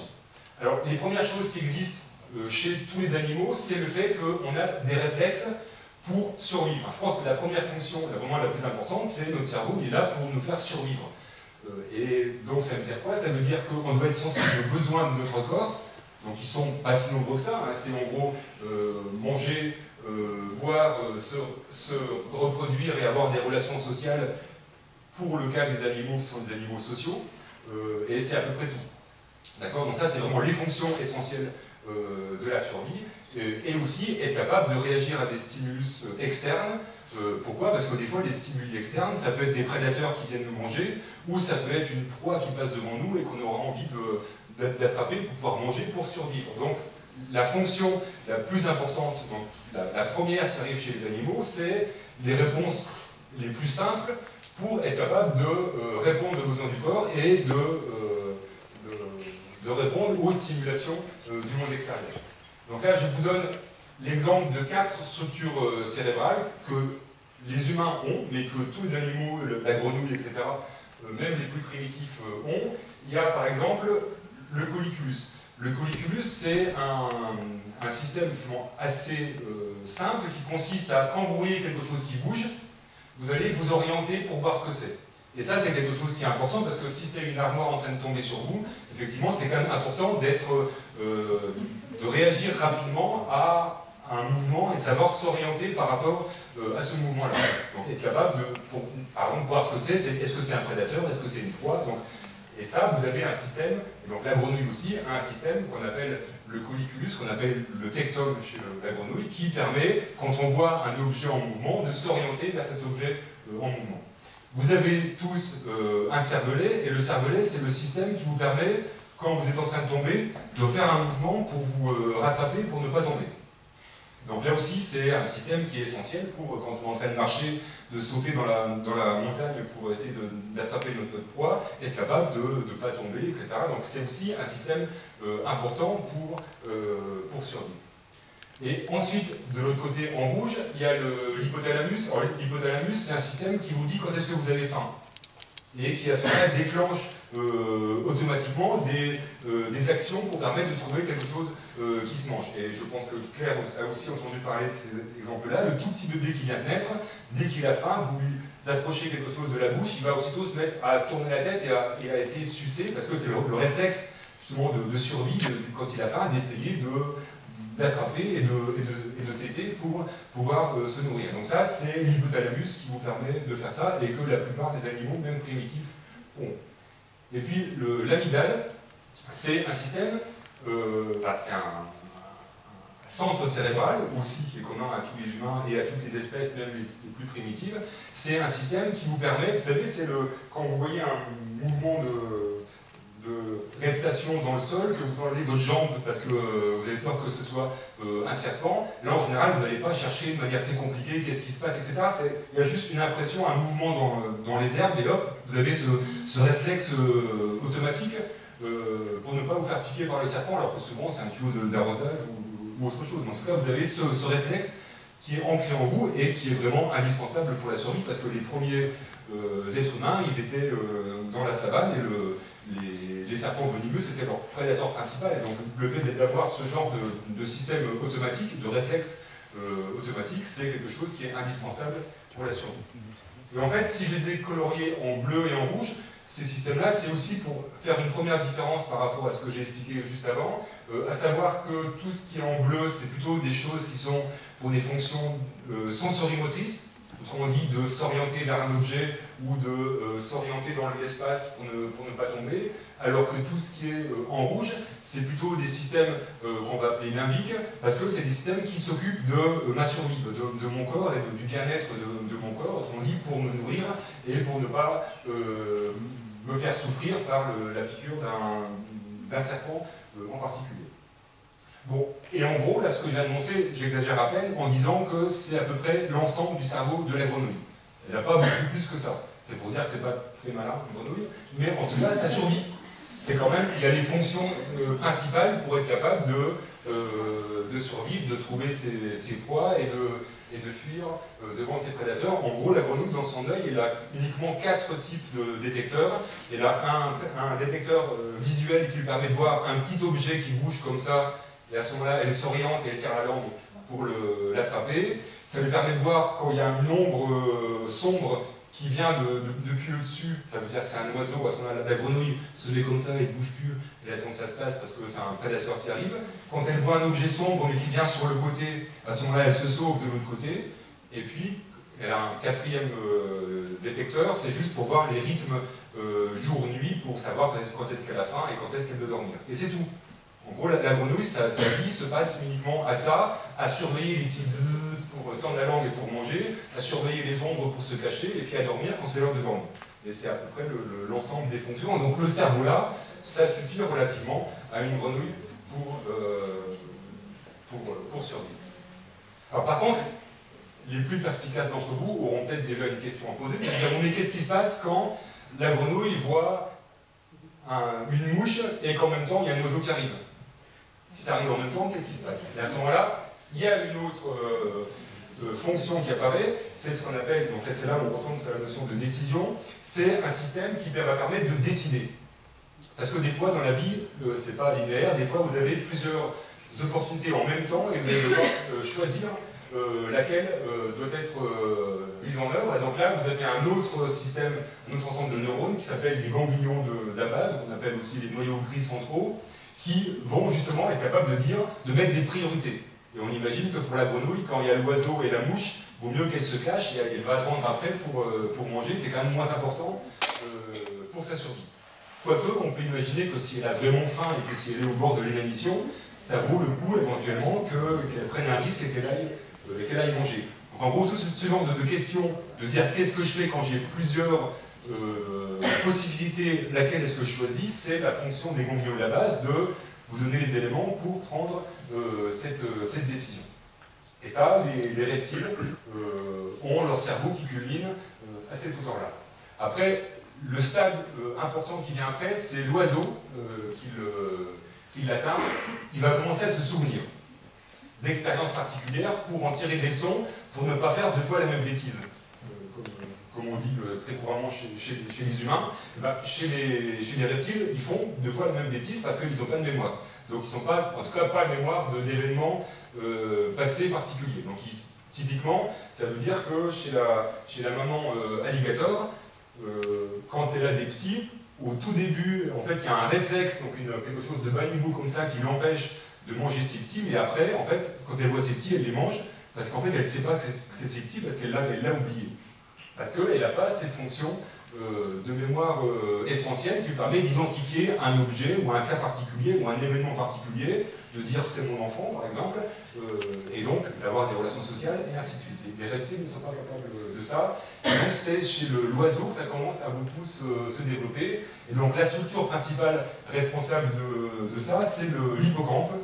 C'est pas l'animal, c'est une structure, je vous montrerai après sur un petit dessin, c'est une structure qui est au centre de votre cerveau. Ensuite, le grand boom, c'est chez les mammifères que ça euh, apparaît. Euh, et le grand boom, ça va être d'essayer, à partir de ça, de se construire euh, des concepts. Autrement dit, de dire, bah, à chaque fois que je vois ce genre d'événement, je peux le manger, et pour à la fin me faire le concept de, du, du muffin, par exemple, c'est un concept qui est utile parce que c'est quelque chose que je vais réutiliser pour en parler avec mes, congénères, pour euh, me faire une image de ça, et donc euh, pas juste garder les images élémentaires de la forme, de la couleur, etc., mais de mettre tout ensemble euh, de manière conceptuelle, éventuellement de mettre un mot dessus. Ça, c'est une avancée considérable qui est permise uniquement, alors pas pour mettre le mot dessus, mais en tout cas pour associer différents sens ensemble, qui est permise seulement chez les mammifères par notre cortex sensoriel. Donc c'est tout ce qui est postérieur au sillon central que Claire montrait tout à l'heure sur l'image, le, sillon qui est ici. Tout ce qui est derrière, c'est en fait votre perception, donc la partie supérieure, qui vous permet justement de construire ces, concepts et ces euh, abstractions. Et enfin, la dernière grande fonction qui se développe chez, le, chez les mammifères et en particulier chez les, primates, et en particulier, dans, chez les êtres humains, c'est toute la partie frontale qui va être devant le sillon central et dont la fonction sera en fait de d'organiser votre action euh, dans le temps. Donc en fait, là où on est très fort, c'est pour faire de la stratégie, pour anticiper, pour être capable de, de faire des plans, pour être capable de, de- pas de- d'utiliser des outils par anticipation, pour euh, ce genre de, de plan, de structuration de notre euh, raisonnement avec des hypothèses, etc. C'est vraiment l'apanage des mammifères supérieurs, des, primates. Euh, et ça, c'est permis par donc, la partie qui est frontale, donc qui est devant votre sillon central, qu'on appelle euh, le cortex euh, frontal. Et ensuite, il y a un point qui est, essentiel, c'est que, vous voyez en bas à droite, j'ai colorié en bleu et en rouge, donc ce qui était plutôt relatif avec nos relations avec le monde extérieur et plutôt relatif avec nos relations avec le monde interne, avec votre corps, si vous voulez. En fait, ce qu'on voit, c'est que dans toutes ces régions, il y a la même chose. Dans toutes ces régions, il y a une partie qui va faire ces fonctions-là plutôt pour faire des concepts, pour avoir des mémoires de choses euh, du monde extérieur, et une autre région ici en rouge qui fera ça pour votre monde interne. Autrement dit, pour vos concepts de j'ai faim, j'ai mal, etc. Et puis aussi, il y aura ce que j'ai mis en vert sur les schémas ici, en fait, ce qu'on va appeler des aires associatives, qui vont nous permettre de faire le lien entre notre perception, notre compréhension du monde extérieur, et puis notre perception et notre compréhension de notre euh, monde interne. Et donc ça, en vous montrant ces éléments-là, là je vous montre à peu près l'ensemble des grandes catégories, des grandes structures euh, qu'il y a euh, dans votre crâne. Alors peut-être pour les placer, euh, donc là sur le schéma à droite, la structure plissée que Claire nous a montré tout à l'heure, donc c'est le cortex. Et euh, si, on, si on regarde par rapport euh, au sillon central qui est ici, donc la partie devant, c'est donc la partie frontale pour les stratégies, la partie derrière, c'est la, partie euh, postérieure pour apprendre des concepts. Et puis en transparence, on voit ici les structures qui sont au milieu, donc les structures les plus anciennes, que je mets ici en couleur vue de face cette fois-ci. Et donc en gros, vous avez en, en vert foncé, là c'est votre hippocampe, donc là où vous êtes capable de, vous souvenir d'événements passés, euh, et en rouge, ici, c'est les, ganglions de la base pour la, décision. Et la partie, la petite boule ici rouge, c'est le l'amygdale dont j'ai parlé tout à l'heure, qui vous permet d'avoir peur du serpent et de, retirer votre jambe euh, au bon moment. Voilà, en gros, la localisation principale de, de toutes ces, toutes ces, structures-là. Alors maintenant, il y a un point aussi qui est, essentiel, c'est ce sujet-là, je l'ai introduit sous l'angle de pourquoi est-ce que le cerveau fonctionne, et donc très vite la discussion a tourné sur l'idée de survivre, sur l'idée quand même de prendre en compte le- les signaux du corps.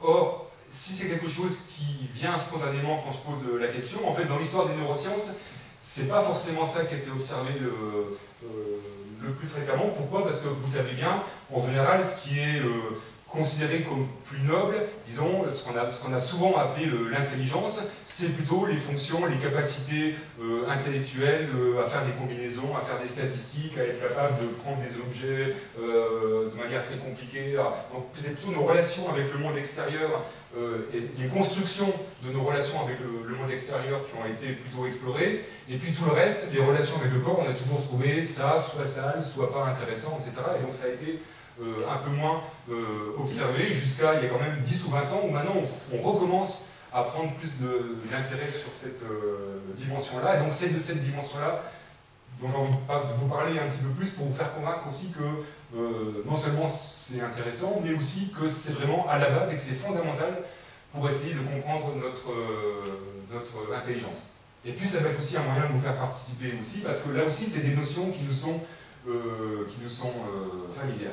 Typiquement la première notion, que tout le monde probablement connaît, est, capable de décrire probablement mieux que la capacité à faire des abstractions ou la, capacité à faire des stratégies, c'est des émotions. Donc là, je vous écoute, les émotions, c'est quoi?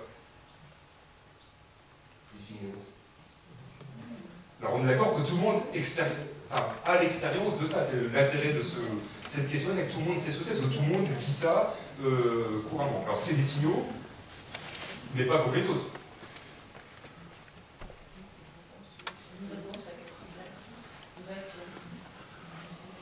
c'est une réaction.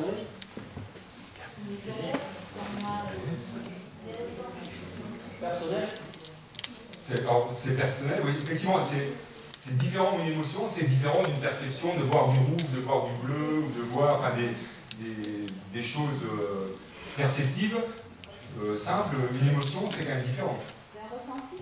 Voilà, il y a un ressenti. C'est un trouble. On ne peut pas dissocier une émotion d'un facteur qui la provoque. Oui. L'émotion, elle est suscitée par un, événement extérieur. C'est un trouble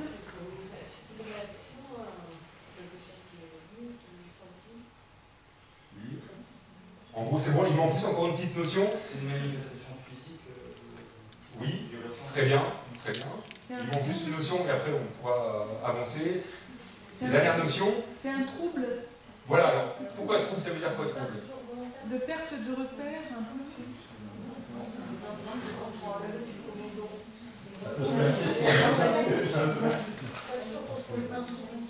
oui. Une notion par rapport à une manifestation cutanée. C'est un changement, oui, c'est un changement de la normale. C'est une réaction. Oui. n'est pas un réflexe. Oui. Oh. C'est bon. En gros, j'ai tout, il manque juste une notion et qui est pourtant assez importante.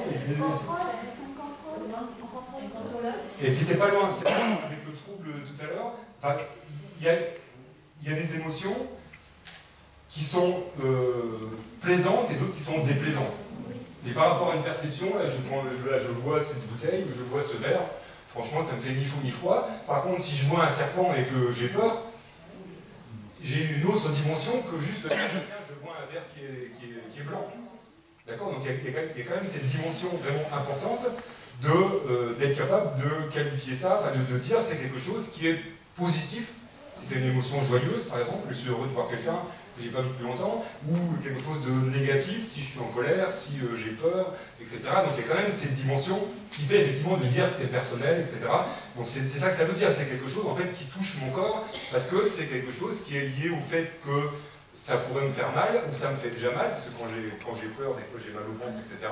Euh, ou qui me fait du plaisir, parce que quand, quand je suis content, eh ben, euh, voilà, je suis bien dans mon corps, voilà, ça me fait des, petites choses partout, etc.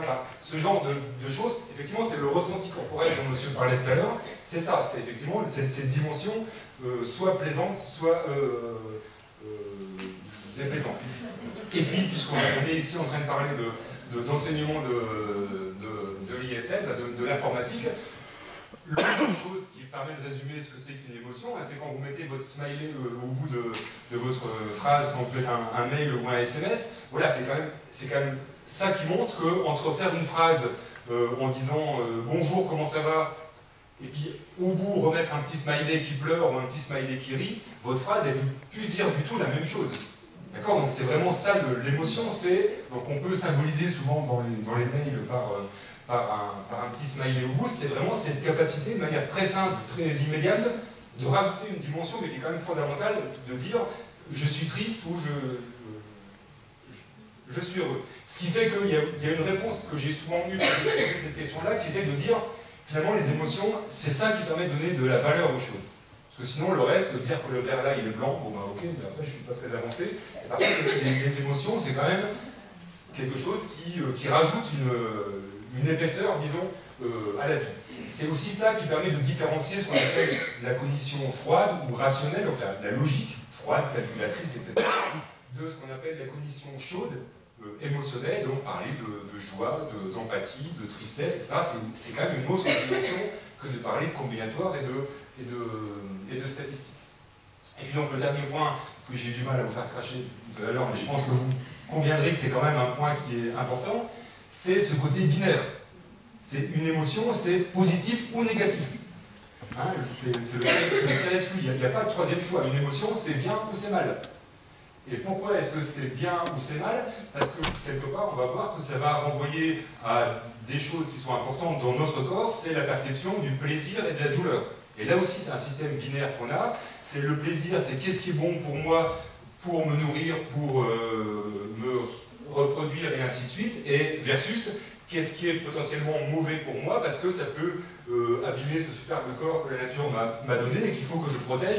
Et donc il y a aussi cette, idée de conserver l'intégrité physique du corps et donc d'avoir des signaux qui vous disent attention, des, alarmes qui vous disent attention, ça c'est dangereux pour vous et donc il faut réagir euh, vite parce que votre main est sur une plaque chauffante vous êtes en train de vous brûler la main. Donc il faut peut-être mieux réagir vite au lieu de, faire des stratégies à long terme. Il faut avoir une, réaction euh, rapide et donc émotionnelle euh, à ça. Et donc, si on veut un petit peu avancer dans le processus des émotions, on va voir qu'il y a deux étapes principales.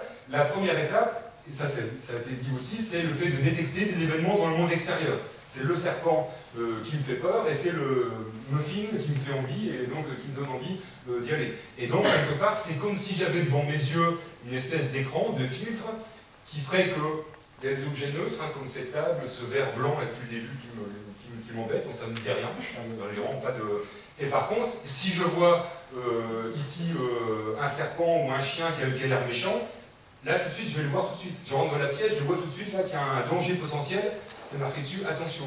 Et là-bas, je vois le muffin qui a l'air super bon, et là, qui me dit, tiens, j'ai faim, euh, c'est là-bas que ça se passe. Et donc, cette perception, elle est immédiate. Vous rentrez dans une pièce, vous avez immédiatement la détection de, ces, ce que j'appelle de ces stimuli colorés, au sens où ça saute aux yeux. Ce qui est dangereux, ou bien ce qui est euh, attractif, et ce qui est aussi attractif, c'est le, les visages de la même espèce. Ce qui fait que je suis en train de parler comme ça et que je suis pas en train de parler comme ça, c'est que j'ai envie de m'adresser à quelqu'un et que j'ai dans mes, réflexes le fait de détecter automatiquement le visage d'un congénère comme étant quelque chose à quoi je dois m'adresser euh, en priorité. Donc, savoir détecter rapidement ces événements d'une part, et puis d'autre part, savoir les évaluer. Parce que le but, quand même, c'est des signaux que, mon corps m'envoie, mais pour me dire, euh, attention, ça peut te faire mal, ou pour me dire, attention, ça se mange. Ou bien c'est un congénère, ou quelque chose, euh, quelque chose comme ça. Et puis aussi l'autre point que je note euh, en passant, c'est que pour ça, on a une détection qui est innée, donc qui est, on vient, on est comme ça, donc tout le monde euh, à la naissance est capable de détecter ces mouvements de réputation et de dire attention c'est un serpent, tout le monde a ce réflexe-là, tout le monde a le réflexe de l'araignée, d'avoir peur des araignées, tout le monde a peur du vide, ça c'est câblé à la naissance, et puis d'autres qui vont être apprises. Typiquement, ce qui est appris, c'est une arme à feu, Là, c'est un ensemble de métal et de plastique. A priori, c'est pas méchant.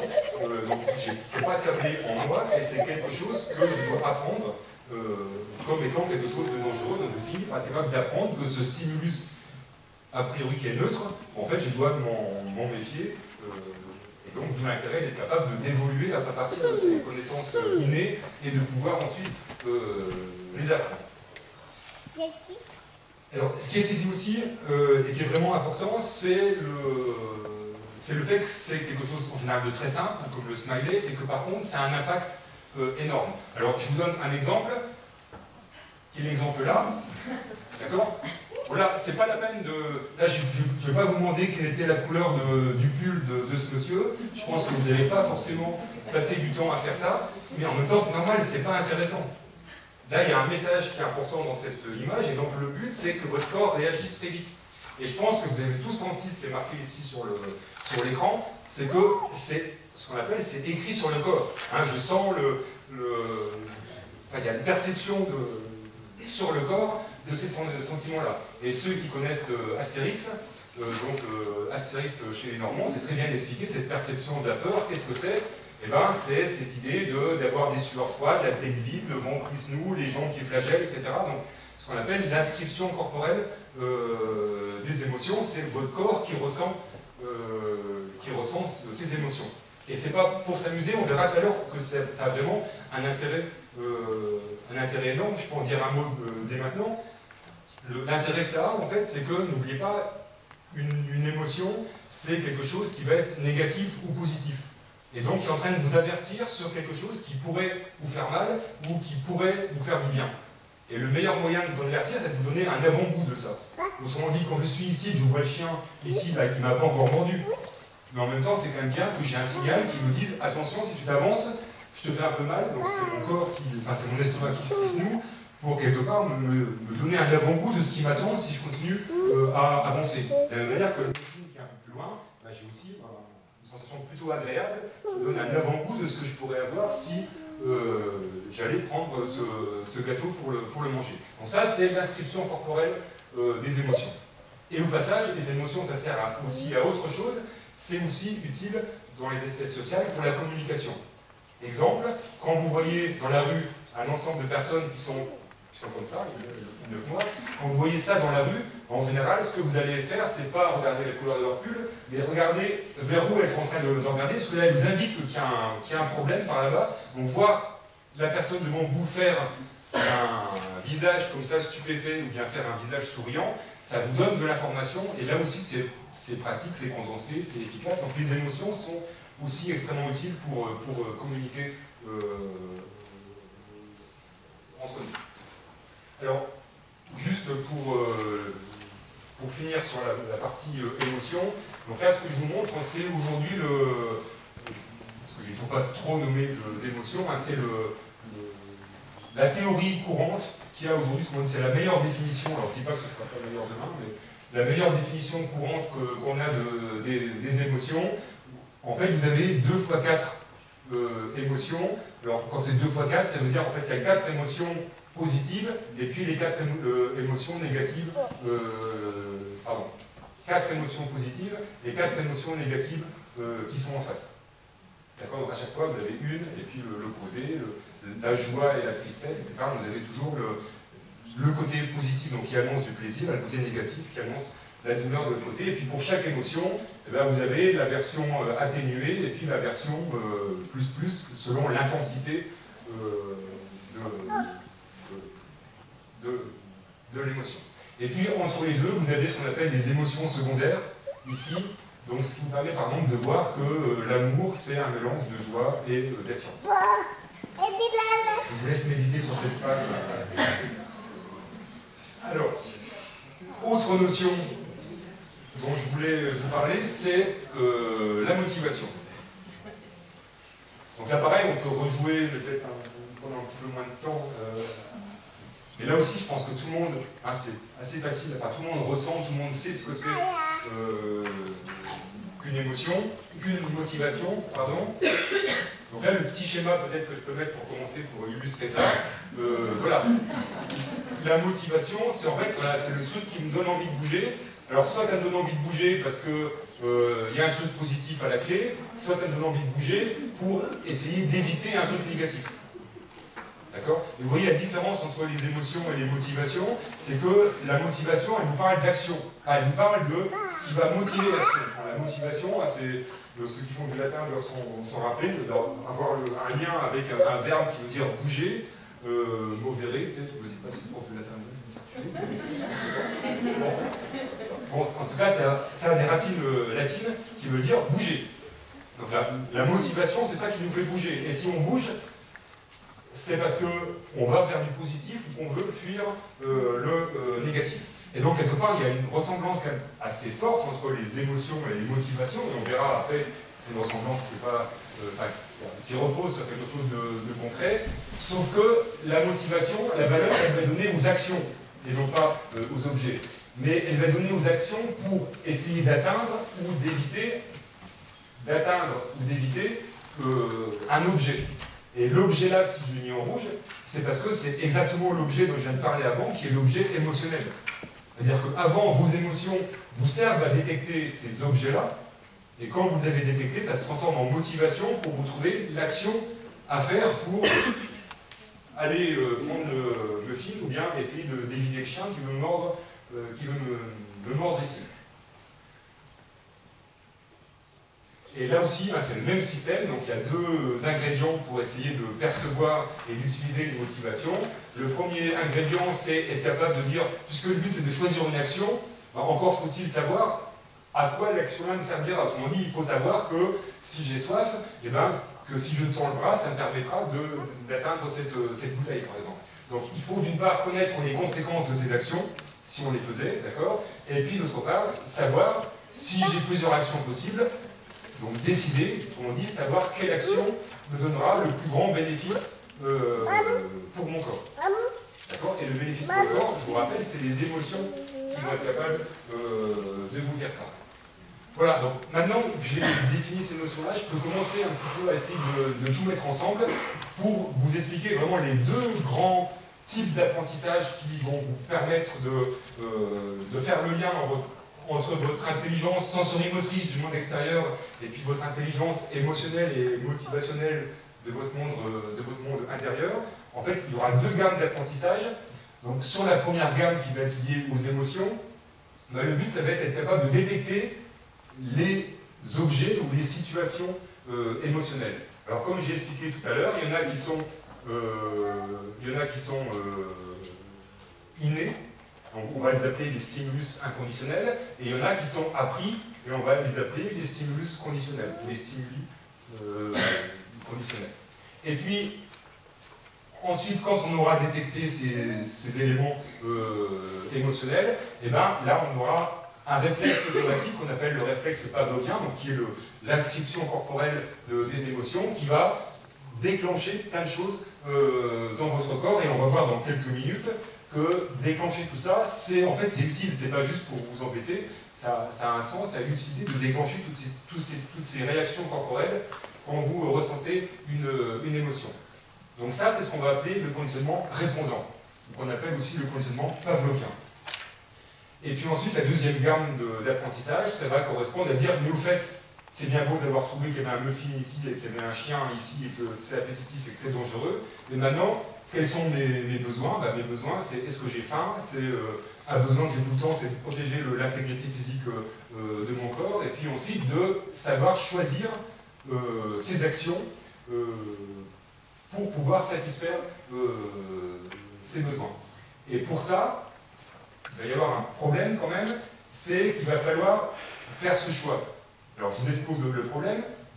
Le problème est le suivant, c'est que j'ai faim, j'ai un gâteau qui est là-bas, donc là je vois bien l'intérêt d'y aller, c'est je pourrais euh, avoir quelque chose qui se mange, mais là j'ai un chien qui est ici, et si je passe, je risque de me, faire mordre. Donc la grande question à se poser, c'est est-ce que j'y vais, sachant le risque que j'ai de me faire mordre, mais sachant le niveau de faim que, j'ai? Et ça, en fait, c'est une question super difficile, parce qu'on est en train de comparer des choses qui sont incomparables. On est en train de comparer un chien avec un, un gâteau. comment est-ce que, ceux qui font des maths, là, ici, additions et des multiplications, on ne peut pas, parce que ma, grand-mère disait comparer les choux-fleurs euh, et les carottes, mais il y a des choses qui sont vraiment très difficiles à comparer. Et pourtant, je vous mets à ma place, ici, tout le monde décide vachement facilement. Tout le monde est capable, dans la vie courante, de choisir entre des enjeux différents, etc. Donc, ce niveau de décision qui paraît très compliqué, en fait, on arrive à le faire très bien. Pourquoi? Et la, réponse, on va le voir dans quelques minutes, c'est euh, grâce à notre système d'émotion, justement, et de motivation qui nous permet de faire ça. Et donc ça, c'est ce qu'on appelle le problème de la monnaie commune, parce que voilà, mon but c'est de mettre sur un, même niveau, donc de pouvoir comparer, d'avoir une monnaie commune entre des choses qui, a priori, n'ont absolument rien à voir euh, entre elles. Et puis donc, quand j'aurai ces différentes euh, possibilités, ben, je dois choisir celle qui est la meilleure, ce sont les cas, ou la moins pire. D'accord et là aussi, j'ai un autre problème qu'on appelle le problème d'accès aux ressources critiques. Et en gros, ce problème-là, il est lié au fait que j'ai un corps, mais en fait que j'ai un seul corps. Et que donc, si j'ai un gâteau là, puis un autre gâteau là, bah, je ne peux pas me couper en deux. D'accord Donc il y a aussi un, autre, une autre contrainte, c'est le fait qu'il faut faire une seule chose à la fois, et donc on doit être capable euh, d'accéder, de, euh, de répondre à, nos contraintes, d'une part corporelle, et aussi, là je passe sur les, détails, mais aussi le fait qu'on a une, un niveau de mémoire euh, de planification qui est assez limité dans notre cerveau, donc on ne peut pas faire des plans trop compliqués parce que notre cerveau est, capable jusqu'à un certain niveau. Donc là aussi, ça plafonne, disons, le niveau de, de décision qu'on va être capable de, faire. Et donc faire tout ça, c'est ce qu'on appelle le conditionnement opérant, ou qu'on appelle aussi le conditionnement euh, instrumental. Alors le conditionnement répondant, je pense que tout le monde a entendu parler de, Pavlov, donc qui a, fait ça, qui a étudié ce conditionnement euh, chez le chien, et en gros le principe, hein, c'est de dire, le chien, euh, on lui montre une cloche, enfin on lui fait entendre une cloche, pour le chien ça lui fait ni chaud ni froid, c'est un stimulus neutre, par contre, on lui met une gamelle avec la nourriture, là, le chien, ça lui dit quelque chose, ça le fait saliver. Parce que les exassements, donc là, c'est un réflexe automatique chez le chien, le réflexe de salivation devant la nourriture. Mais ensuite, Pavlov, il a observé que si on fait sonner une cloche et qu'ensuite on montre la nourriture, bien sûr, le chien va réagir, mais qu'après, le chien, il va apprendre à associer la cloche et la nourriture, ce qui fait qu'après, si on montre la cloche toute seule, le chien va saliver. Donc là, le chien, il a bien appris ce stimulus qui au était neutre, il a bien appris que c'était un stimulus annonciateur d'un truc sympa, et donc il a fini par apprendre que c'était quelque chose qui était euh, positif. Tout comme le panneau muffin avec une flèche, ça peut me. ça, ne se mange pas, mais ça peut aussi me donner envie euh, d'y aller. Donc là, on est capable d'apprendre, et cet apprentissage-là, c'est l'apprentissage pavlovien ou répondant. Et donc, il va nous permettre d'apprendre euh, nos émotions, en plus des émotions, bien sûr, fondamentales qu'on a. Donc ça veut dire quoi? Ça veut dire que par rapport à l'aspect fondamental, quand je vois quelque chose qui fait, euh, qui fait euh, vraiment qui me fait une vraie émotion directement, quand je vois ce, chien là qui, menace depuis tout à l'heure, bah là j'ai donc le réflexe automatique de, euh, de l'émotion que j'ai expliqué tout à l'heure, hein, c'est quand on a mal au ventre, des gens qui flagellent, etc. En fait, ces réflexes, ils sont, ils sont de, trois, de trois ordres. La première, c'est le premier, c'est d'ordre moteur. Donc ça veut dire que je vais trembler, etc. Je vais bouger comme ça, je vais avoir une, position qui va me dire, euh, qui va montrer aussi aux autres euh, que j'ai peur. Le deuxième, c'est euh, hormonal. En gros, il y a le niveau de stress qui monte, etc. Et puis aussi l'adrénaline qui m'est envoyée pour pouvoir courir très vite, ou bien s'il faut me battre, etc. Donc il y a aussi un certain nombre de hormones qui sont envoyées pour réagir à la situation.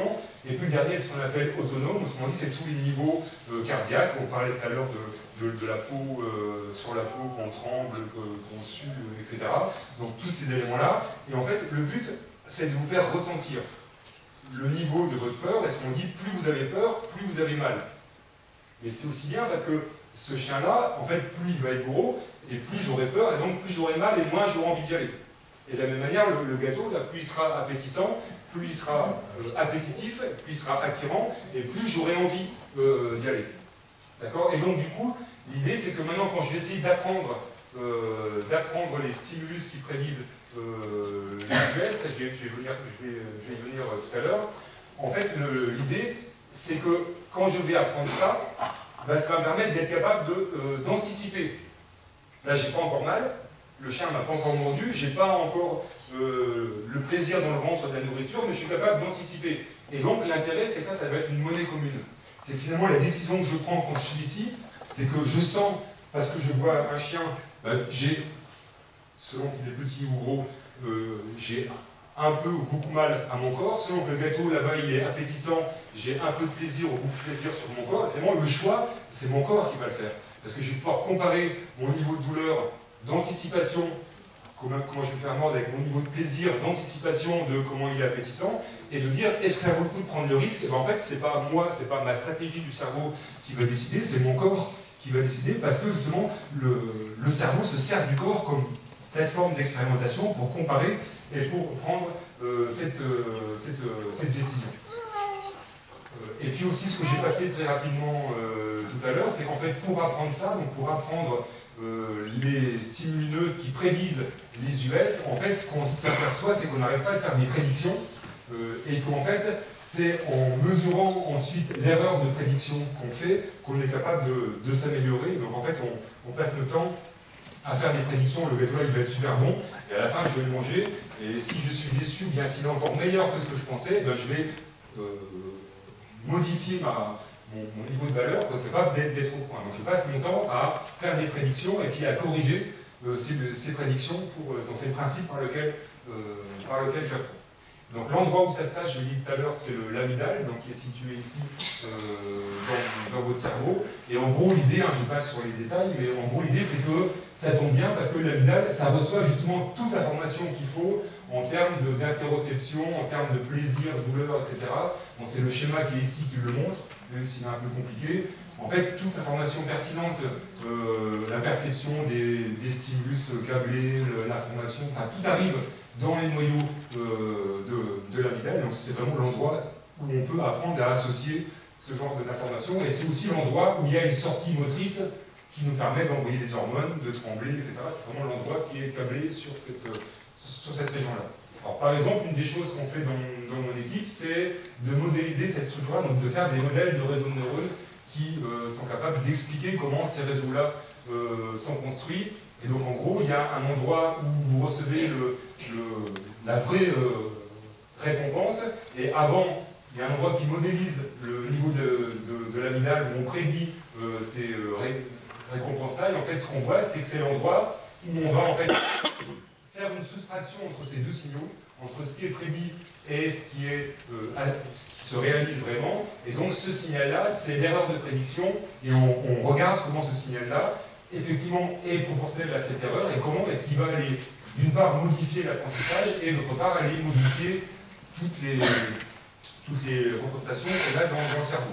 Ça veut dire qu'en gros, qu'on ne va apprendre que quand on s'est trompé. Donc tant qu'on fait des bonnes prédictions, ça veut dire que votre système marche bien, et dès qu'on prédit mal, donc si on prédit mal, c'est qu'on a fait une erreur, et ben on va aller corriger notre système.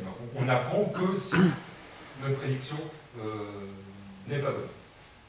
Ensuite, l'autre grande gamme d'apprentissage, c'est donc le conditionnement euh, opérant, donc là où il faut cette fois-ci agir, et là c'est Skinner, peut-être que moins de gens connaissent, qui a expérimenté ce, genre de choses. Donc là c'est un rat qui est dans une boîte, euh, dans cette boîte il y a un distributeur de nourriture, mais qui est fermé, au bout de quelques heures ou de quelques jours, le rat commence un petit peu à s'énerver, vous imaginez bien, parce qu'il a faim.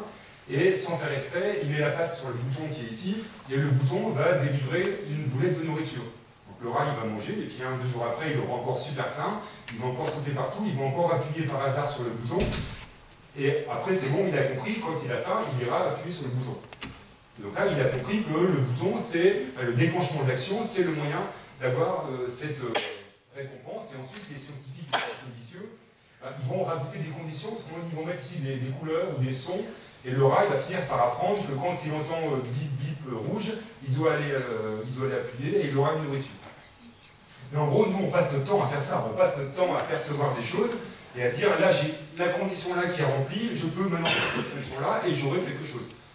Et, ça c'est vraiment le principe d'apprendre à agir, c'est de savoir quand est-ce que, qu'est-ce que donnera telle action de savoir prendre la main pour saisir cet objet-là, mais de savoir qu'il y a des signaux qui me disent que là, c'est pas la peine de prendre la main parce que je l'aurai pas, parce que c'est trop loin.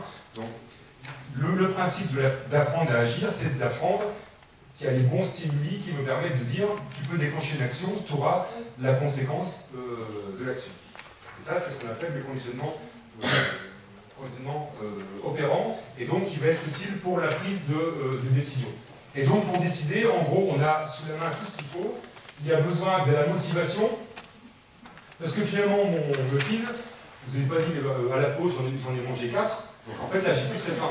Donc du coup, le pain, même s'il est petit, je ne vais, pas, vais pas prendre le risque d'y aller. Par contre, si j'ai pas mangé de gâteau et que tout le monde m'a dit que les muffins étaient super bons, euh, l'intérêt va vraiment grandir. D'accord? Le, niveau de motivation est quelque chose qui joue beaucoup.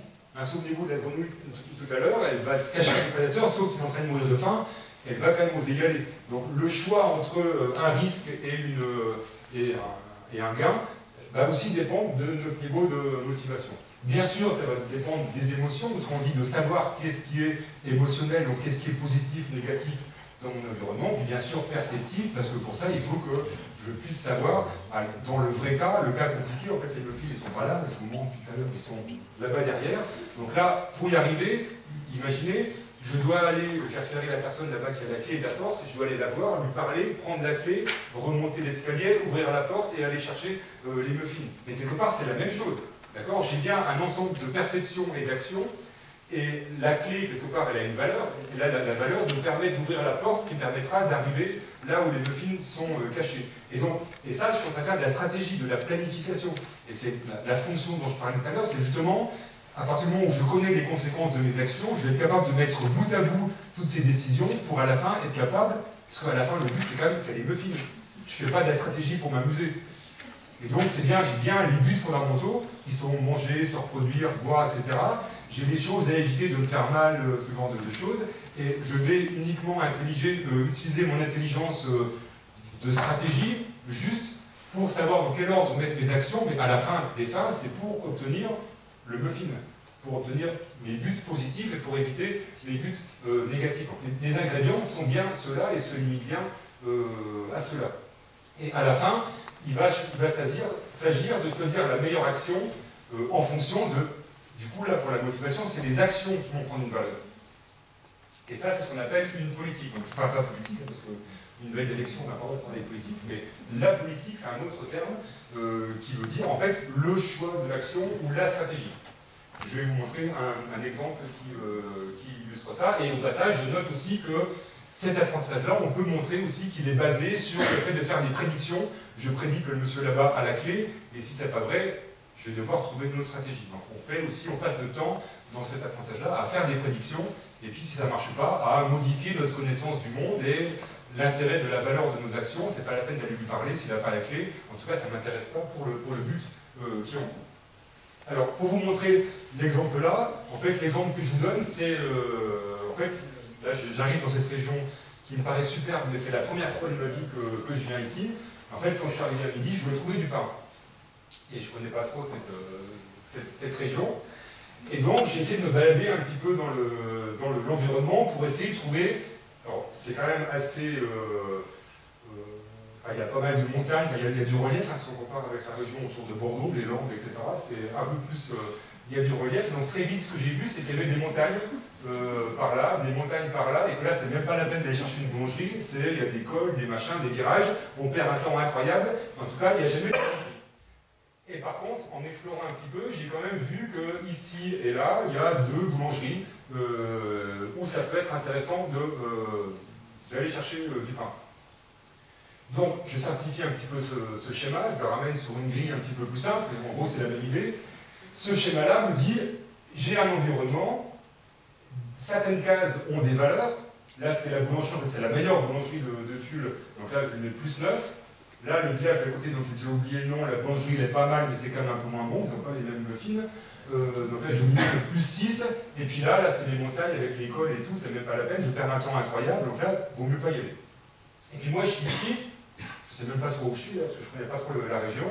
Et puis, me déplacer, ça me coûte de l'énergie, ça me coûte de l'essence, ça me coûte du temps, et donc me déplacer, ça me coûte 1 d'énergie. Et voilà. En gros, vous passez votre temps à faire ça, de, de vous dire, je suis ici, je sais même pas où je suis, je voudrais trouver du pain, et comment je fais? Quelle action est-ce que je dois choisir, la sélection de l'action, pour atteindre mes buts. Alors bien sûr, si je suis là, ça marche. Là, je sais que je suis devant la boulangerie, euh, là, je, sais faire. Mais si je suis ici et je ne connais pas l'endroit, j'ai absolument aucune idée de ce que je dois faire.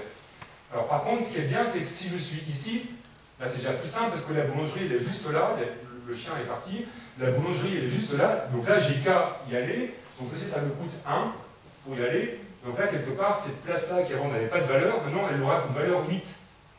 Puisqu'en fait si ça me coûte 1 pour aller là, pour avoir 9, donc quand je suis là, c'est comme si j'avais 8. Donc là j'ai appris que la case là qui n'a pas de valeur, en fait elle vaut 8. D'accord? Donc si vous avez euh, suivi, vous êtes d'accord que les cases là aussi, elles valent 8 Question? Combien elle vaut celle-là Bravo, celle-là elle vaut 7, et ainsi de suite, hein, je, continue. Voilà. Et maintenant, là, j'ai complètement exploré mon environnement et je connais à chaque endroit l'action optimale à faire pour aller chercher du pain. D'accord? Je, suis ce qu'on appelle le gradient, je, suis l'évolution de ces chiffres-là, et donc à chaque fois, j'ai donné une valeur aux, aux- aux actions. Ici, c'est l'action aller vers le haut qui a une valeur, ici, ici, et donc maintenant, je sois n'importe où, j'ai qu'à suivre les flèches, et c'est le chemin le plus court, qui me coûtera le moins cher, qui me donnera le meilleur rapport qualité-prix entre la récompense que j'ai à la fin et le niveau d'énergie que je vais dépenser pour, y arriver. Et donc là, ce que je viens de vous montrer, donc on appelle une politique, ça c'est la politique, c'est le choix de, l'action. Maintenant, quand j'ai tout appris, quand j'ai ces flèches-là, ça c'est ce qu'on appelle les habitudes.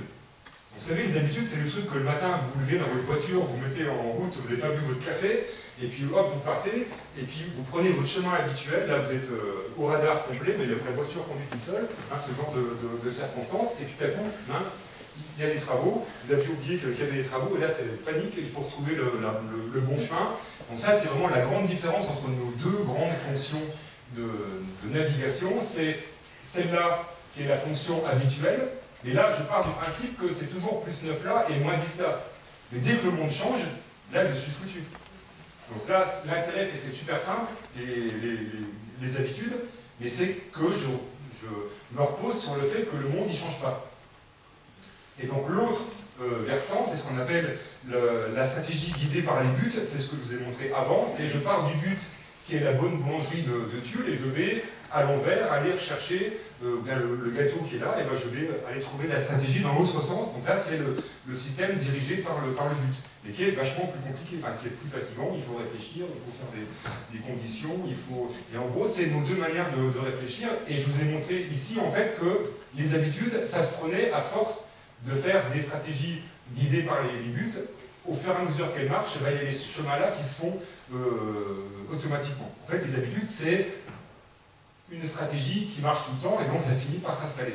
Mais dès que le monde change, un exemple typique, c'est quand vous rentrez dans une pièce que vous croyez qu'il faut appuyer à droite pour allumer la lumière, et puis on a bougé l'interrupteur, ben, trois ans après, vous tournez encore la main sur l'interrupteur, c'est l'habitude. D'accord? Et donc là, parce que vous avez appris le, stimulus déclenche l'action de, de, la lumière. Donc c'est moins fatigant, mais c'est moins efficace, c'est moins flexible, c'est moins euh, robuste, et donc c'est l'évolution de votre système de stratégie qui se, qui se, qui s'automatise. Et donc la partie qui est impliquée dans ce système-là, j'ai dit tout à l'heure, c'était les ganglions de la base et aussi le cortex préfrontal. Donc les ganglions de la base, si vous vous souvenez, c'est le, le truc qui est en rouge sur le lot de schéma dans cette partie-là. Euh, cette partie Alors je vais essayer de vous expliquer, mais c'est un, peu compliqué quand même cette boucle-là. En gros, vous avez, si vous vous rappelez, sur la partie euh, postérieure de votre cortex, toute la, la, partie sensorielle, qui vous dit ce que je vois. La partie antérieure, frontale, vous avez toutes les actions, les plans d'action, etc. Et en gros, tout ça, ça va se projeter vers l'entrée le, des ganglions de la base. Donc ils reçoivent tout ce que je perçois et toutes les actions que je pourrais faire, et qui perçoit aussi les valeurs émotionnelles que l'amygdale donne euh, aux choses, en disant ça c'est dangereux, euh, ça ça se mange, euh, etc. Et puis qui va aller sélectionner parmi toutes les, actions possibles, qui va aller sélectionner quelle est la meilleure et qui va aller la déclencher ici. Et puis ce qui est intéressant, ce qui est intéressant c'est le, petit machin qui est là, la petite structure qu'on appelle la substance noire euh, partie compacte, ici, et en fait, c'est une substance qui déclenche, enfin, un ensemble de neurones qui déclenche de la dopamine. Et en fait, la dopamine, c'est exactement proportionnel aux erreurs de prédiction que vous faites. Donc à chaque fois que vous pensez faire un truc pour avoir quelque chose et que vous n'y arrivez pas, bien que c'est mieux que prévu, donc chaque fois que vous vous trompez dans vos prédictions, bah, la dopamine va être sécrétée au prorata de votre niveau d'erreur. Et elle va aller justement aller modifier les connexions dans cette structure-là qui va justement, elle, apprendre à associer les bonnes actions avec les bonnes, euh, les bonnes perceptions. Alors, là je sais que je suis un peu long et que ça commence à être un, un peu compliqué, mais c'est fini après, n'ayez pas peur. Donc, pour vous dire le niveau de complexité où maintenant on essaye de, de, travailler, c'est que en fait ce qu'on a vu, c'est que ces, grands réseaux-là, ces, grandes boucles ici, en fait, on a trois sortes de, boucles ici. En fait, il y a une boucle, souvenez-vous les couleurs rouge et bleu là, avec le monde extérieur et avec le, les émotions. En fait, il y a une boucle euh, qui est euh, avec le monde extérieur, c'est celle qui va me permettre de choisir mon action pour les actions du monde extérieur, de savoir apprendre à attraper une bouteille ou quelque chose comme ça. Il y a celles qui vont me permettre de choisir mes actions par rapport à mes émotions. On dit c'est quelle est la bonne action à faire par rapport euh, à un but, et puis euh, il y a celles qui vont au milieu me permettre d'apprendre l'association entre les émotions euh, et les perceptions. Et ça, les trois boucles-là, c'est ce qu'on appelle le but, la planification et l'exécution. Donc le but, c'est ici, hein, c'est j'ai faim, ici il y a à manger, et là il y a un chien qui est dangereux. Euh, la planification, c'est l'ordre dans lequel je fais les choses. Il faut d'abord que je marche, après que je tende la main, enfin que j'évite le chien d'abord, que je tende la main et je mange le, le gâteau. Et enfin, l'exécution, c'est tout ce que je fais, ça se traduit par des mouvements quand même de mon corps. Donc il faut que j'apprenne aussi dans quel ordre.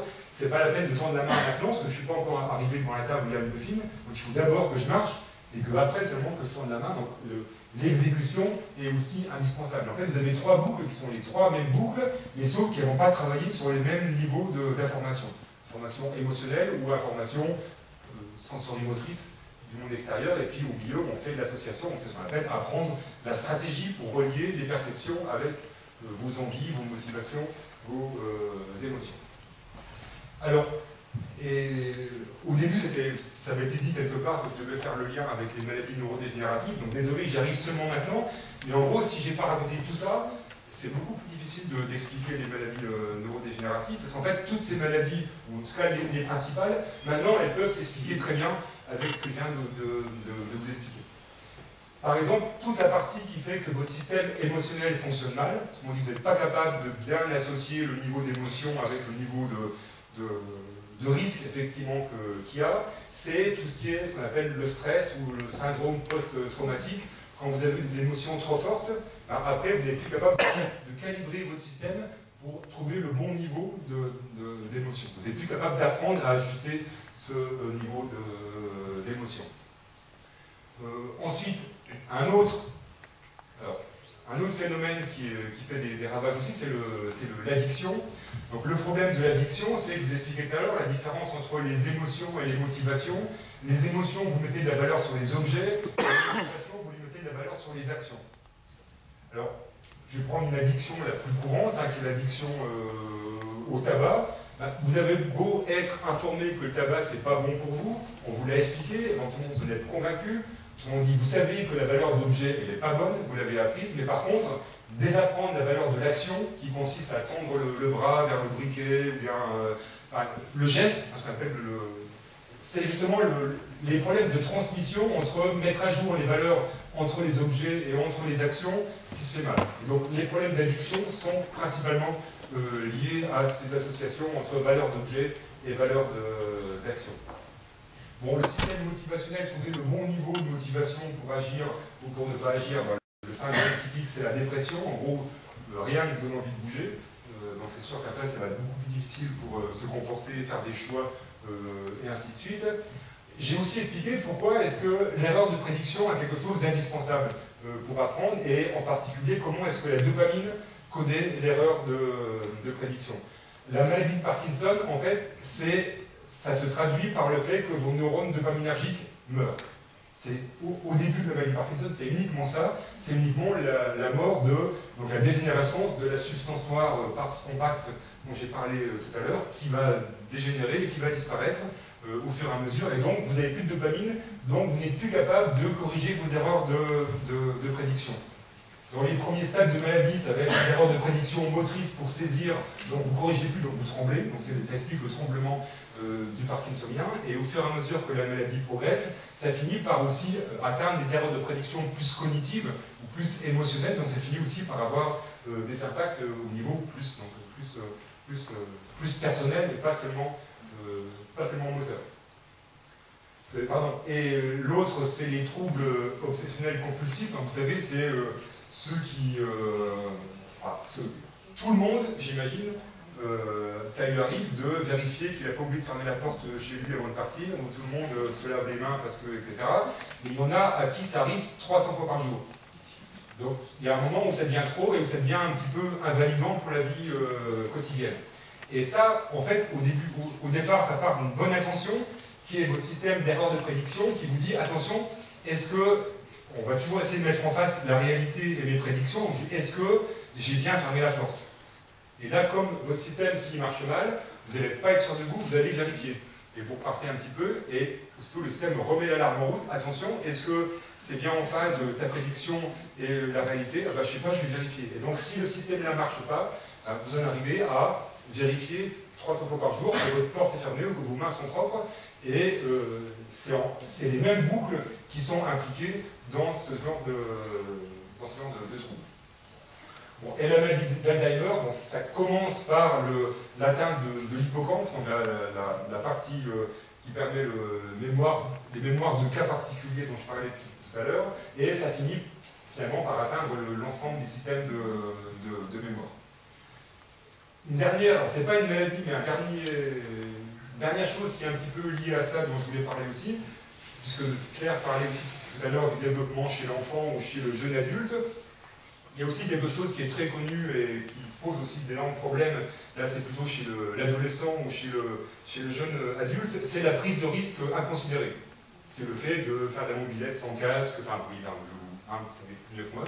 Donc toute cette prise de risque-là, en fait ce qu'on peut montrer, c'est que, souvenez-vous des boucles que, que j'ai montrées euh, tout à l'heure, en fait on peut montrer que l'adolescent ou le jeune adulte, il n'est pas capable au niveau, parce que son cerveau est en train de mûrir et donc les boucles ne sont pas encore euh, complètement euh, mises, euh, mises, en place, il n'est pas capable de faire le lien entre son risque corporel et son risque et, et, ce qu'on lui dit, donc son risque euh, émotionnel. Qu'on dit quelque part, s'il prend son risque, s'il prend ce risque, donc s'il va prendre le risque de se faire mal, c'est parce qu'il n'est pas capable de d'associer euh, le risque physique avec le, le, risque émotionnel ou le risque motivationnel euh, correspondant. Et donc, quelque part, ça veut dire que d'une part, il ne faut pas lui en vouloir. S'il prend ce truc-là, quelque part, il ne le fait pas pour, pour embêter les, parents, il le fait parce que, parce que ça lui paraît normal, mais ça veut dire que du coup, il faut lui expliquer. qu'il faut essayer d'expliquer ce, ce, niveau de prise de risque et euh, de bien faire attention sur le, sur fait que ce n'est pas quelque chose que l'adolescent peut percevoir et peut comprendre euh, spontanément. Voilà, bon, j'en ai terminé.